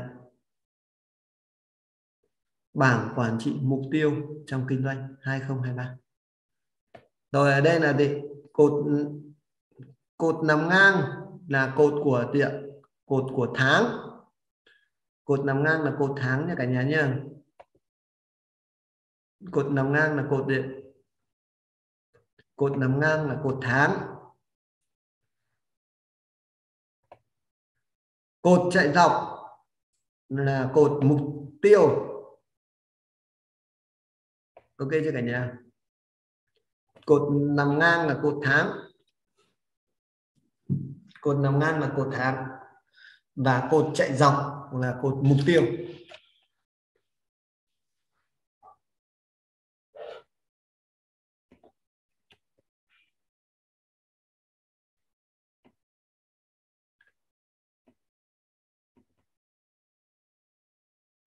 Đã cột nằm ngang là cột tháng và cột chạy dọc là cột mục tiêu. Thì tùy theo các anh chị, các anh chị có thể kẻ bảng là cột là 6 tháng hoặc các anh chị có thể kẻ bảng là 12 tháng. Giống như cái bảng mẫu ở đây. Mẫu ở đây là em ngân thiết kế là cho một cái bảng là 10 đi 12 tháng các anh chị nha còn các anh chị có thể dùng cái bảng của diện của 6 tháng. Tùy vào, tùy theo các anh chị. Cột nằm ngang là cột tháng và cột dọc là cột mục gì cả nhà? Mục tiêu. Vậy với những cái bảng như này, các anh chị không chỉ là áp dụng trong kinh doanh new email, mà các anh chị có thể áp dụng trong nhiều các mục khác nhau của cuộc sống. Có đúng cả nhà? Đó thứ nhất là ví dụ như là à, mục tiêu là doanh số cá nhân. Mục tiêu là doanh số cá nhân chẳng hạn. Ok thế thì ví dụ như là mục tiêu của cá nhân chúng ta mỗi một tháng chia sẻ tư vấn là tối thiểu là bao nhiêu? 15 đến 20 lon sản phẩm chẳng hạn. Hoặc là có những người mà bán hàng tốt thì mục tiêu của các anh chị là 31 lon cá thì cả nhà cá nhân chẳng hạn. Thì mọi người, ví dụ như nếu mà mục tiêu của mình là 15 đến 20 lon thì các anh chị ghi là 15 đến 20 lon. Tháng 2 lại ghi là 15 đến 20 thì 20 lon. Thì tức là mỗi một tháng, doanh số cá nhân các anh chị có một mục tiêu là tối thiểu là 15 đến 20 gì 20 lon sản phẩm. Hoặc 31 lon là tùy vào mỗi một người có những cái khả năng bán hàng khác nhau ok chưa cả nhà? Cột số 2 mục tiêu mà gợi ý của em Ngân là các anh chị có thể để mục tiêu về tuyển dụng cá nhân. Mục tiêu thứ nhất là doanh số cá nhân, mục tiêu thứ hai là tuyển dụng cá nhân. Tuyển dụng cá nhân là gì? Là những người mà anh chị trực tiếp tuyển dụng, trực tiếp bảo trợ, chứ không phải là gì cả nhá không phải là tuyến dưới bảo trợ nhá mà là mình trực tiếp tuyển dụng mình trực tiếp bảo trợ.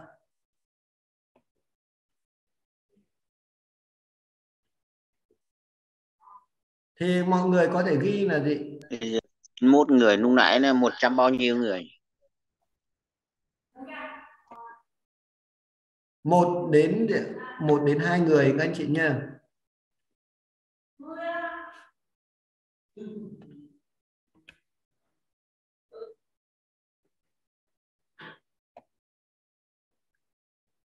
Ok chưa cả nhà? Cột số 3 là cột doanh số nhóm.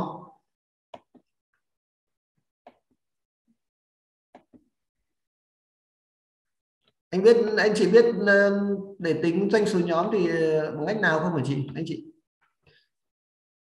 Doanh số là bằng số người làm việc, nhân với cả bình quân về bán hàng thì ra doanh số nhóm bởi vì chúng ta đều có một cái công thức là doanh số bằng số người làm việc nhân với cả mức độ biết làm mà.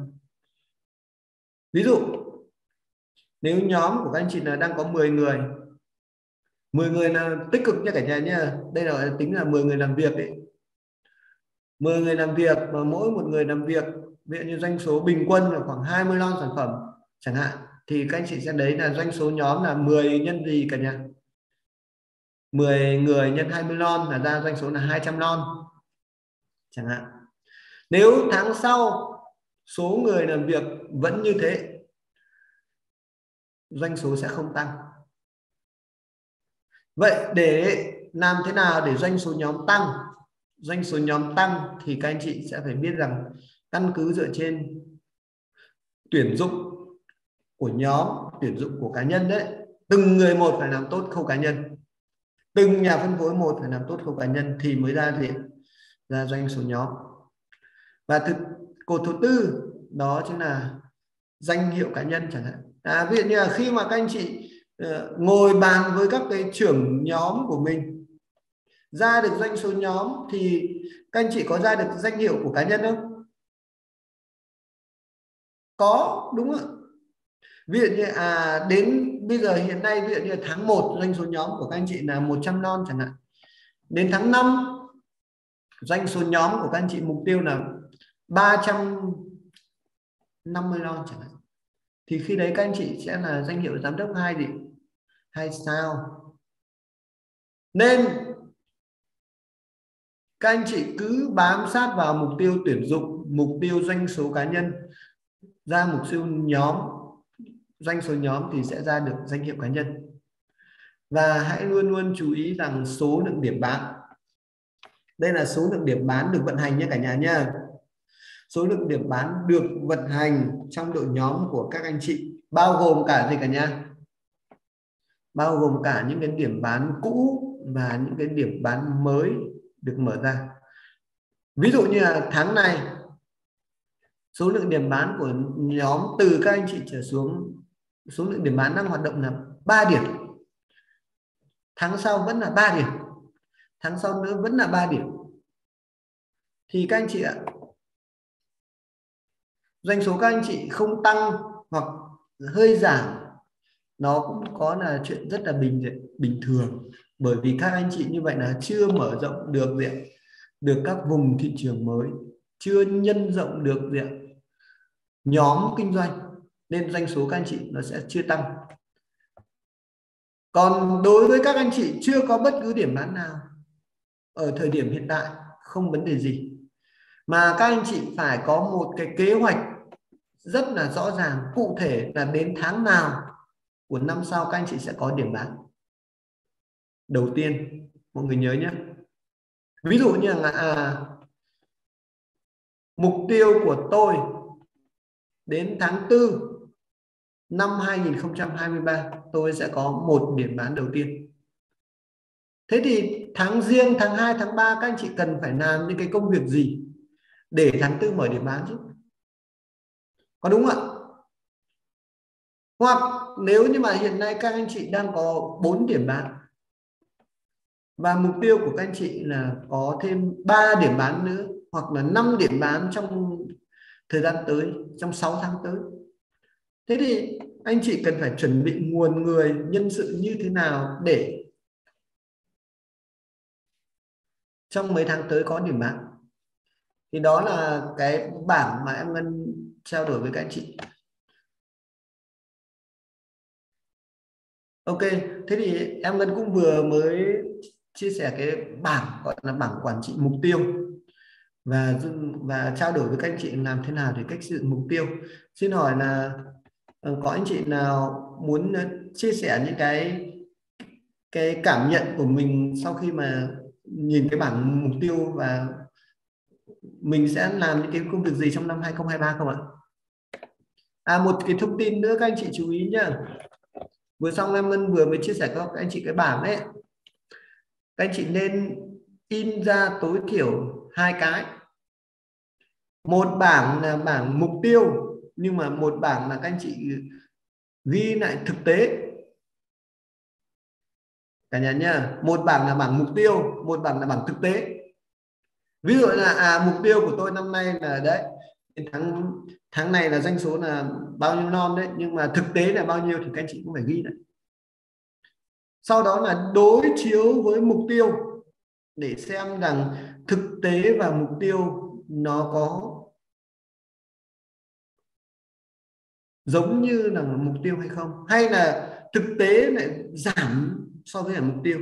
Thì tại sao giảm? Cái khâu nào chưa được làm tốt? Thì chúng ta phải phải điều chỉnh. Và cái việc cần làm, cái việc cần điều chỉnh là cái bộ phận nào? Cái khâu nào? Như vậy thì các anh chị mới có cái kết quả kinh doanh tốt.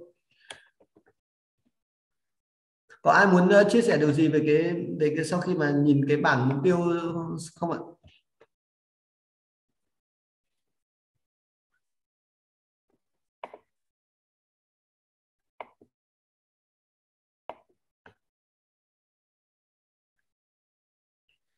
Em ơn ờ, xin mời ờ, chị ờ, chị tối đây đi ạ.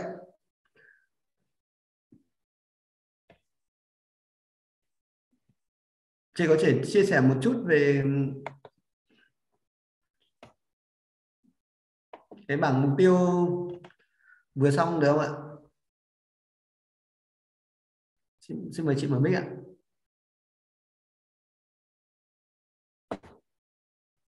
Dạ, hình như là duyên đang khóa à? Để em để em xem. Được rồi em ơi. Dạ vâng à, chị à, cảm ơn lãnh đạo ngân rất là nhiều. Thì vừa rồi chị à, cũng xem cái bảng mục tiêu của lãnh đạo rất là rõ ràng và cụ thể.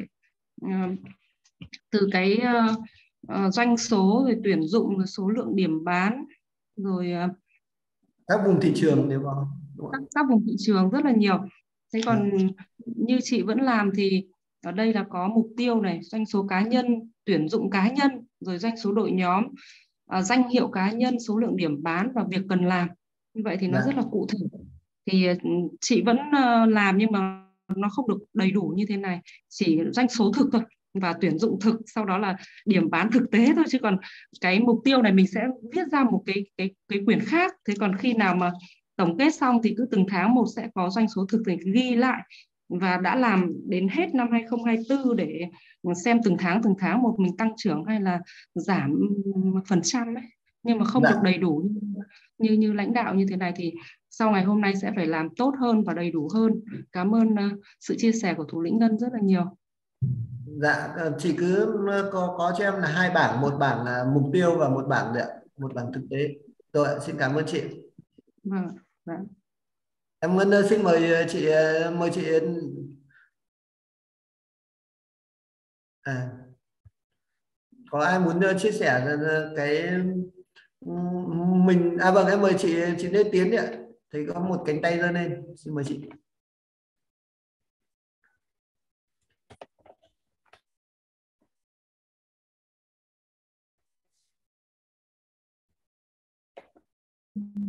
Xin mời mic chị chị Tiến ơi.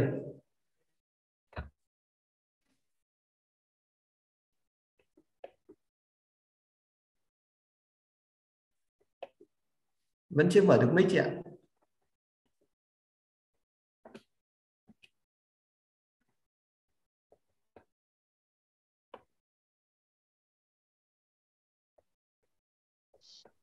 Ok. Vâng, xin chào ờ, cả nhà mình.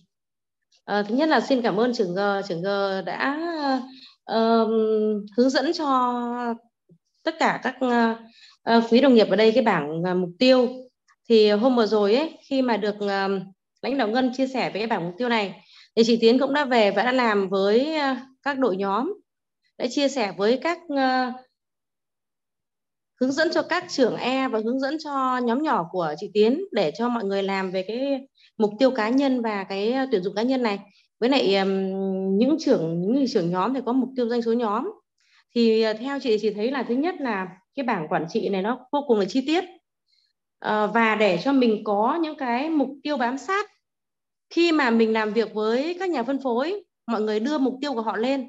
Tức là họ khi họ đã làm và cái bảng này họ đưa lên tức là họ có đã, đã là cam kết. Cam kết cùng với mình là họ sẽ hướng tới cái mục tiêu đề ra. Sau đó thì uh, mình sẽ họp với các nhóm hàng tuần để xem xem là cái mục tiêu mọi người đề ra như vậy thì họ đã hoàn thành được đến đâu rồi đó hàng tuần họp sau đó thì đến tháng cuối tháng chúng ta lại họp để xem là ai đạt và ai chưa đạt lý do tại sao chưa đạt. Đó và với những người đạt thì mình sẽ có những cái ờ, khuyến khích. Còn với những người chưa đạt thì là mình xem lý do ở đâu để mình xuống mình tháo gỡ. Thì cái bảng này vô cùng là chi tiết và rất là cảm ơn trưởng G. Đã uh, uh, suy nghĩ và và và định hướng cho toàn thể các nhà phân phối. Vâng ạ cảm ơn trưởng G rất nhiều ạ. Xin cảm ơn chị Lê Tiến ạ. Em Ngân cũng ờ, hy vọng rằng là các anh chị sẽ, sẽ có thể bám sát được cái cái bảng mục tiêu và đưa từ thực mục tiêu từ thực tế từ trên kế hoạch đi đến với cái mục tiêu mà mình sẽ nhận được. Ok xin mời thêm một em gấm nữa xin mời em gấm. Vâng em chào anh Ngân chào tất cả các anh chị có mặt trong phòng Zoom và biết ơn anh cho em cơ hội chia sẻ.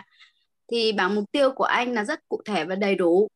Nhưng mà em muốn em muốn ờ, tức là trước đây em cũng đã từng làm những mục tiêu rất là chi tiết cụ thể. Và cũng có lúc thực hiện được, cũng có lúc không thực hiện được. Vậy ai cũng thế thôi, kể cả công ty mình thế. Nhưng có một cái điểm mà em thấy được rằng là khi em áp dụng thêm một cái, thêm một chút nữa, đó là mình đưa cái mục tiêu đấy vào tâm trí của mình giống như mình bị óm ảnh bởi vì mục tiêu đấy thì cái hiệu quả nó sẽ cao hơn. Ví dụ như em làm trong tháng 11 và tháng 12 em đã đưa cái mục tiêu đấy vào tâm trí của mình. Đấy, thì khi mà trong tâm trí của em có cái mục tiêu đấy rồi, thì đến buổi tối khi em về, em ngủ ấy, trước khi đi nghỉ, em thiền với cái mục tiêu đấy. Tức là mình nghĩ về mục tiêu đấy và mình nghĩ đến cái cảm giác mình thực hiện được mục tiêu đấy nó sẽ sung sướng như thế nào. Tức là mình sẽ đưa cái cảm xúc vào cái mục tiêu đấy và mình biết ơn cái mục tiêu đấy cũng như là mình yêu cái mục tiêu đấy thì mình sẽ sở hữu được cái mục tiêu đấy, thì thì nó sẽ có hiệu quả mạnh hơn ạ, mạnh hơn. Còn nhiều khi đầu tiên là ừ, mọi người ừ, ngày trước em làm cái mục tiêu thì nó cũng có những cái lúc là mình làm theo cái kiểu là cảm hứng thôi, chứ mình không bám sát vào kiến thức. Nhưng hôm nay thì thủ lĩnh ngân chia sẻ cái bảng này rất là cụ thể, thì nó sẽ giúp cho các bạn anh chị ghi được những cái mục tiêu vào đấy, nhưng mình phải lưu nó lại trong cái tiềm thức của mình đấy, bởi vì sức mạnh tiềm thức nó rất là mạnh. Một giây nó nở ra 6 năm hạt. Thế thì khi mình mình cùng với một người nào đó ví dụ trong hệ thống của em em sẽ muốn cùng với một người nào đấy là để thực hiện cái mục tiêu đấy thì em sẽ cùng đồng hành với họ và hành động cùng họ viết ra được cái chiến lược để thực hiện mục tiêu đấy. Và em thiền thiền với họ bằng buổi tối trước khi đi ngủ. Tức là em nghĩ đến cái hình ảnh mà họ họ họ đạt được mục tiêu đấy và mình đạt được mục tiêu đấy. Bởi vì tuyến dưới mình muốn đạt được mục tiêu thì tuyến dưới phải đạt được mục tiêu mình mới đạt được mục tiêu. Thì mình hãy kết hợp với một người tuyến dưới để mình gieo cùng nhau gieo vào cái tâm trí của mình. Thì thì nó sẽ có hiệu quả. Và em đã thực hiện trong tháng 11 tháng 12 và em thấy nó có cái hiệu quả hơn. Thì em cũng có một cái đôi đầu tiên cảm ơn em Gấm thì cảm ơn cảm À, một trong rất cảm ơn em. Thì vừa xong em đã chia sẻ một trong những cái nguyên tắc rất đúng của người giàu đó chính là nguyên tắc tự kỷ ám thị, các anh chị nhé. Tự kỷ ám thị đó là gì đó là chúng ta phải để cái mục tiêu ở cái nơi nào mà chúng ta phải nhìn thấy nó mỗi một ngày và chúng ta bị ám ảnh với nó. Thì ờ, chúng, hoặc chúng ta có thể dán nhiều các cái tờ mục tiêu của chúng ta ở nhiều cái gì ạ? Ở nhiều chỗ khác nhau trong cái phòng của chúng ta để luôn luôn nhắc nhở bản thân mình về mục tiêu của mình. Chứ không hẳn chỉ là, đó là chỉ là cái tờ giấy mà đó là cả một cái mục tiêu và đó là cả một cái sự cam kết của mình để có thể chiến đấu đạt được nó. Thì cái vừa xong cái phần uh, giao lưu của em gấm cũng rất là đúng và các anh chị có thể là sẽ, sẽ thực hành nó bằng cách là gì? Làm nhiều các cái bảng nhưng mà cái mục tiêu là như, giống như nhau nhưng mà để ở những nơi mà các anh chị có thể nhìn thấy nó hoặc ngay cả trong cái phòng ngủ của mình nơi mà mình sẽ trước khi đi ngủ và mình chia nhỏ mục tiêu và mỗi một lần khi mà mình đạt được những cái mục tiêu của mình dù là nhỏ thì mình cũng hãy gì ạ? Hân hoan với nó và hãy ăn mừng nó. Đấy là một trong những cái mà rất là tuyệt vời. Xin cảm ơn em gấm ạ. Em ngân nghĩ là bây giờ cũng đang 10 giờ cũng ờ, đã là khá là muộn rồi. Thì sau đây xin mời mc uh, ờ, duyên sẽ kết thúc chương trình ạ. Vâng xin cảm ơn phần chia sẻ xin cảm ơn phần chia sẻ rất là chi tiết rất là cụ thể rất là rõ ràng của lãnh đạo uh, trưởng G23 lãnh đạo Ngọc Ngân của chúng ta đúng không ạ? Anh chị có thể nhìn thấy một bức tranh tổng thể về ngành kinh doanh bán hàng trực tiếp nói chung và cụ thể những cái mức mà New May đang chi trả là thuộc uh, chi trả hoa hồng thuộc top 2 trong 21 công ty bán hàng trực tiếp tại Việt Nam đúng không ạ? Và kinh doanh với một tập đoàn mà có 9 năm liên tiếp có tốc độ tăng trưởng liên tục khẳng định cái vị trí của cái ngành kinh doanh dinh dưỡng miễn dịch thì anh chị hoàn toàn có thể yên tâm về cái định hướng về chiến lược và kết quả kinh doanh cũng như là tầm nhìn trong 5 năm, 10 năm hoặc thậm chí 15 20 năm tới của tập đoàn nói chung và của G23 nói riêng đúng không anh chị? Và ngày hôm nay các anh chị thấy những nội dung của lãnh đạo Ngân chia sẻ rất là xác thực, rất là thực tế và chi tiết từng cái việc cần làm với anh chị ở cái mục thứ ba thứ tư đấy gì ạ? Chiến lược kinh doanh. Chiến lược kinh doanh đúng không ạ? Giống như là mình chơi à, đá banh đấy đúng không ạ? Thì lãnh đạo lấy những cái ví dụ cụ thể rất là chi tiết để các anh chị có thể hiểu được là mình cần phải có cái chiến lược gì trong năm 2023 thứ nhất là gì ạ? Phát triển nội lực là mình phải có tâm thái tốt với cái công việc kinh doanh này, đúng không? Tâm thái tốt với những cái vấn đề mà liên tục cần phải giải quyết trong hệ thống của mình, đúng không ạ? Phải có nội lực, có nghị lực từ chính bản thân bên trong của mình, chứ không phải là ngoại lực ở bên ngoài tác động vào. Có niềm tin, có tầm nhìn với cái cơ hội kinh doanh, ngành dinh dưỡng này, đúng không ạ? Và cái chiến lược thứ hai đấy là gì ạ? Ứng biến linh hoạt. Tức là trong kinh doanh, cái chữ linh hoạt cực kỳ quan trọng, đúng không ạ? Mục tiêu thì không thay đổi nhưng mà phương pháp thì chúng ta phải luôn luôn thay đổi để phù hợp với cái thời thời điểm đó đúng không? Phù hợp với hệ thống của chúng ta và phù, phù hợp với chiến lược kinh doanh mỗi một thời điểm của công ty đúng không ạ? Nên là cái chữ linh hoạt trong kinh doanh cực kỳ quan trọng mà lãnh đạo cũng nhắc rất là nhiều mỗi lần chúng em họp trưởng nghe lớn đấy đúng không ạ? Và cái thứ ba trong chiến lược kinh doanh cái gì ạ? Công thủ hợp thời. Tức là khi anh chị làm thị trường nào là phải ổn định thị trường đó và phải tìm được người vận hành ấy, ekip đó ổn thì chúng ta mới dịch chuyển sang cái thị trường khác, đúng không ạ? Làm tức là giống như là chấn thủ thành nào thì là phải chắc cái cái cái cái khung thành đó thì mới bắt đầu đi sang khung thành khác, đúng không ạ? Thì đấy là những cái chiến lược rất là quan trọng trong năm 2023 mà đấy là lời nhắn nhủ của lãnh đạo Ngân là muốn gửi gắm đến toàn thể quý các anh chị nhà phân phối trong hệ thống G23 làm sao để các anh chị có những cái chiến lược cụ thể, rõ ràng, có cái sự linh hoạt từng thời điểm để mình đạt được những cái mục tiêu cao hơn trong năm 2023 cùng với tập đoàn New May? Và ờ, đến cái phần thứ tư, lãnh đạo có nhấn mạnh về cái phương pháp thực thi đấy ạ, đúng không ạ? Đấy, kinh doanh với một tập đoàn, với một công ty, với một sản phẩm à, với một ngành mà lại có tụ cụ thể từng cái chiến lược, định hướng, phương pháp như thế nào để giúp anh chị có thể biết được cái việc cần làm, đúng không ạ? Trong khi đó thì lãnh đạo nhấn mạnh luôn là cái gì ạ? Mục tiêu các anh chị đưa ra là phải khả thi, phải đo lường và phải có khả năng thực hiện được, đúng không ạ? Và mình phải chia nhỏ mục tiêu, đúng không ạ? Chẳng hạn tháng này là chúng ta, mục tiêu người này lên trưởng phòng 31 lon, vậy thì chia nhỏ mỗi ngày là một lon, đúng không ạ? Chứ không có ai khuyến khích là cái tháng, cái ngày cuối cùng của tháng chúng ta mới nhập 31 lon. Đấy, thì là cần phải là chia nhỏ mục tiêu. Và đặc biệt là cái bảng là gì? Quản trị mục tiêu từng tháng thực tế so với kế hoạch như thế nào là lãnh đạo ngân cũng như các anh chị vừa mới thảo luận, đúng không ạ? Cái bảng đấy là vô cùng chi tiết và vô cùng quan trọng. Thực sự em rất là khâm phục lãnh đạo ở cái sự chi tiết tỉ mỉ từng tí một, đúng không ạ? Đơn giản trong vận hành nhưng mà quản trị là phải chặt chẽ. Và lần đầu tiên khi mà em tham dự à, cái buổi ba ổn tại nhà lãnh đạo Hương thì có lãnh đạo Ngân ờ, qua đấy chuyển giao cho bọn em và em rất nhớ cái cách mà lãnh đạo chuyển giao cho bọn em. Cái cách vẽ 10 danh hiệu trên tờ A4 mà thực tế là bây giờ chưa có một lãnh đạo nào chuyển giao chi tiết cụ thể như thế cho bọn em. Thì ờ, cũng phải biết là cái sự may mắn của G23 của chúng ta khi đang được cái sự dẫn dắt của lãnh đạo rất là chi tiết và cụ thể. Thì ờ, ngày hôm nay rất là vinh dự và rất là vô cùng là biết ơn lãnh đạo với cái sự chia sẻ rất là nhiệt tình, đúng không ạ? Chi tiết cụ thể để các anh chị có thể nhìn ra được cái tầm nhìn trong ngành kinh doanh dinh dưỡng miễn dịch này. Và cùng những cái phương pháp thực thi như em duyên vừa có tóm tắt lại. Thế thì à, rất là cảm ơn quý cô ba anh chị đã dành gần à, 2 tiếng, đúng không? Hơn một tiếng rưỡi để à, cùng tham dự giao lưu cái chương trình buổi tối ngày hôm nay. Vậy thì như lúc nãy lãnh đạo ngân cũng vừa mới chia sẻ, vừa mới lồng ghép cái sự tương tác rồi đúng không ạ? Để các anh chị vừa có thể học vừa có sự tương tác giao lưu bài học. Thế thì uh, bây giờ uh, cũng là cái phần cuối thì em duyên muốn là mời một chị uh, chia sẻ cái cảm nhận cái phần giao lưu của tổng quan cái bài học buổi uh, tối ngày hôm nay để uh, làm sao uh, có những cái góc nhìn đa chiều hơn về cái ngành kinh doanh này cũng như cái bài giảng tối nay của lãnh đạo để làm sao là lãnh đạo có thêm những cái nguồn năng lượng những cái cảm xúc những cái buổi sau có thể là cống hiến chia sẻ nhiều hơn những cái giá trị tinh hoa của lãnh đạo cho các anh chị trong G23 được không ạ? Vậy thì em xin mời lên đây uh, chắc là khoảng 5 7 phút thôi. Cái phần giao lưu cuối cùng uh, là một chị uh, chị cũng thuộc hệ thống của em uh, Trần Duyên.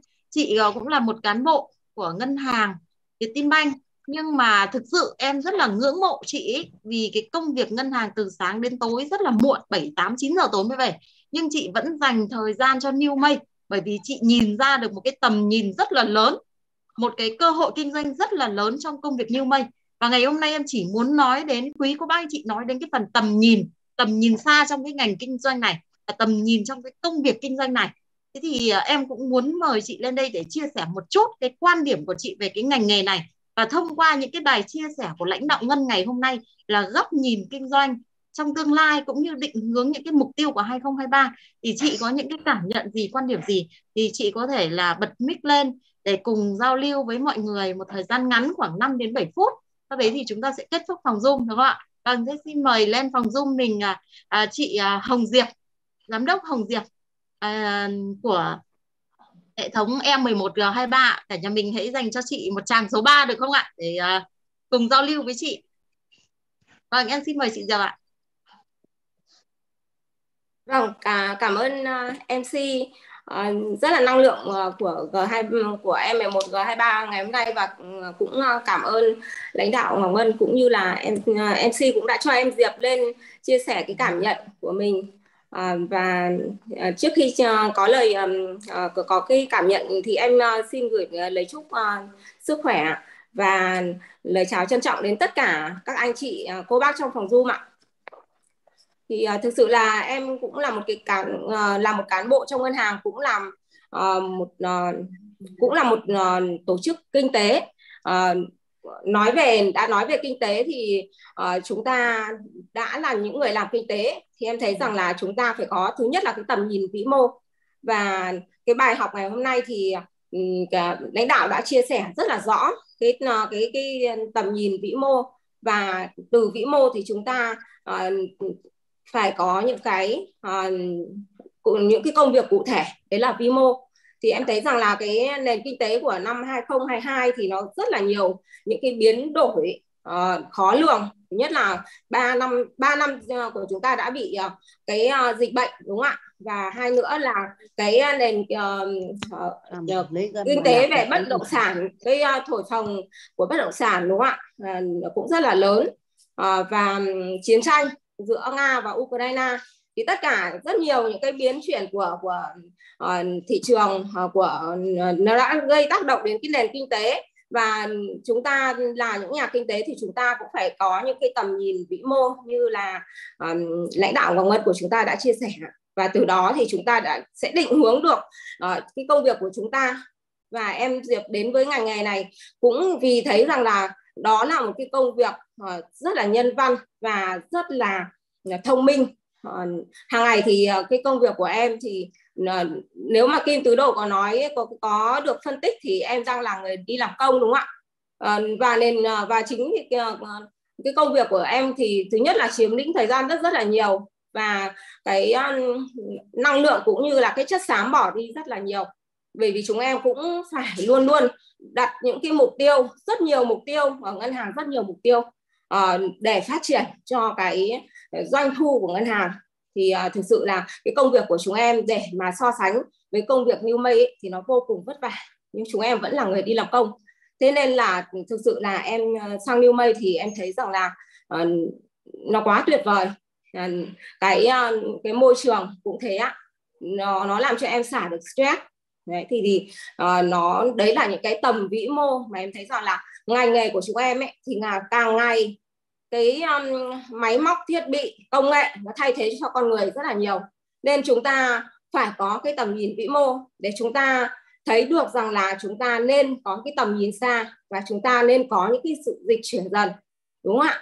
Kể cả như em diệp đến một ngày nào đó em diệp cũng bị có thể bị đào thải bởi công nghệ tất cả chúng ta bây giờ đều thấy công nghệ, đúng không ạ? Ngành dọc của chúng ta bây giờ cũng thế thôi. Cũng tinh gọn các bộ máy con người, đúng không ạ? Và quản lý nhà nước bây giờ cũng đã dùng phần mềm rất là nhiều để quản trị. Vậy thì thực sự là ờ, nói về cái cái tầm vĩ mô thì thực sự là em nghĩ rằng là chúng ta đã lựa chọn New May là một cái giá trị vô cùng lớn và vô cùng là là đúng ừ, tuyệt vời và đúng thời điểm và ờ, rất là giá trị với với với chúng ta có điều chúng ta vận hành như thế nào thì buổi ngày học ngày hôm nay thì em cũng đã thấy được và như MC cũng đã chia sẻ rồi rất là chi tiết cụ thể. Chúng ta chỉ cần vận hành ờ, vận hành chúng ta học và chúng ta thẩm và chúng ta vận hành theo các cái bước của lãnh đạo đã chia sẻ và chúng ta hành động như thế nào thôi. Thì đấy thì em thực sự là cũng có một chút cái cảm nhận và đúng là trong một ờ, tổ chức thì chúng ta phải có những có, có những cái uh, buổi đào tạo uh, sát sườn như thế này. Và để cho anh chị em chúng ta đã ờ, một đã là kinh doanh thì chúng ta phải phải làm những người leader. Thì chúng ta mới là mới mới tạo lập được một cái doanh nghiệp của chúng ta nó tốt được. Thì thì em thấy rằng là uh, mấy buổi uh, gần đây uh, lãnh đạo Ngọc Ngân cũng đã uh, truyền tải cho chúng ta rất nhiều. Trước bài trước là về tâm thái và bài này thì cái cái cái, cái kinh nghiệm về uh, cái cái tầm nhìn và cũng như là cái vận hành công việc cụ thể. Uh, trong công việc New May em thấy thực sự là đúng là chúng ta rất hạnh phúc vì chúng ta có một trưởng uh, uh, như uh, lãnh đạo Hoàng hồng Ngân của chúng ta. Thì em cũng là nhà phân phối chưa phải là lâu nhưng mà thực sự là em còn phải học hỏi rất nhiều. Nhưng em cảm thấy rằng là đây là những cái giá trị mà anh chị em chúng ta uh, đã được lĩnh hội và chỉ cần chúng ta vận hành thôi ạ. Thì em uh, cũng um, xin thay mặt cho tất cả các ờ, anh chị nhà phân phối trong phòng du ngày hôm nay. Cảm ơn lãnh đạo Ngọc Ngân rất là nhiều và cảm ơn ờ, MC Trần Duyên cũng là người rất là sắc nét trong ờ, trong con đường kinh tế cũng đã cũng đã dẫn dắt chúng em trong công việc em cũng một lần nữa xin cảm ơn các lãnh đạo và cũng cảm ơn tất cả các anh chị đã, đã lắng nghe chúc mọi người có một buổi tối à, ngủ ngon và ngày sáng ngày mai rất là nhiều năng lượng cho công việc mới của chúng ta trong ngày mới ạ. Dạ vâng, em cảm ơn uh, phần chia sẻ uh, rất là giá trị và rất là tuyệt vời của chị Diệp đúng không ạ? Chị uh, chị chia sẻ dưới cái góc độ là một người đi làm công và chị nhìn nhận là à, những cái công việc hiện tại của các chị trong tương lai sẽ thay thế bởi máy móc đúng không ạ? Ví dụ ngày xưa đi nộp tiền vào tài khoản ngân hàng là phải ra ngân hàng giao dịch viên nhưng bây giờ các anh chị thấy là đi qua máy ATM đúng không ạ? Dần dần là sẽ có những cái công cụ máy móc để thay thế bởi sức cái lao động của con người. Nhưng các anh chị kinh doanh trong ngành dinh dưỡng miễn dịch là các chị anh chị hoàn toàn yên tâm và phát triển bền vững đúng không ạ? Vậy thì à, vâng xin cảm ơn cả nhà mình. Hiện tại đến bây giờ vẫn còn hơn 70 cô chú anh chị ở trong phòng zoom của hệ thống G23 vậy thì à, xin à, thay mặt à, ban tổ chức uh, xin gửi lời cảm ơn tới lãnh đạo Ngọc Ngân trưởng G23 và gửi lời cảm ơn tới hơn 70 quý cô bác anh chị. Vẫn còn giờ này vẫn còn đang đồng hành cùng với ban tổ chức chúng em cũng là cái nguồn mà năng lượng giúp chúng em là có thêm những cái bài chia sẻ được tốt hơn tuyệt vời hơn trong những cái bài chia sẻ sau. Vậy thì uh, uh, xin kính chào quý cô bác anh chị và chúc quý cô bác anh chị có một giấc ngủ thật ngon sáng mai là có một ngày mới tràn đầy năng lượng và lên kế hoạch mục tiêu cho tháng 1 năm 2023 là về đích rực rỡ, đúng không ạ và đón chào một Tết âm lịch là an lành, yên vui, hạnh phúc, đầm ấm cùng bên gia đình, đúng không ạ vâng Em xin à, cảm ơn cả nhà mình và hẹn gặp lại cả nhà mình vào những chương trình lần sau của G23. Ờ, cả nhà mình có thể bật mic lên để cùng chào nhau ạ.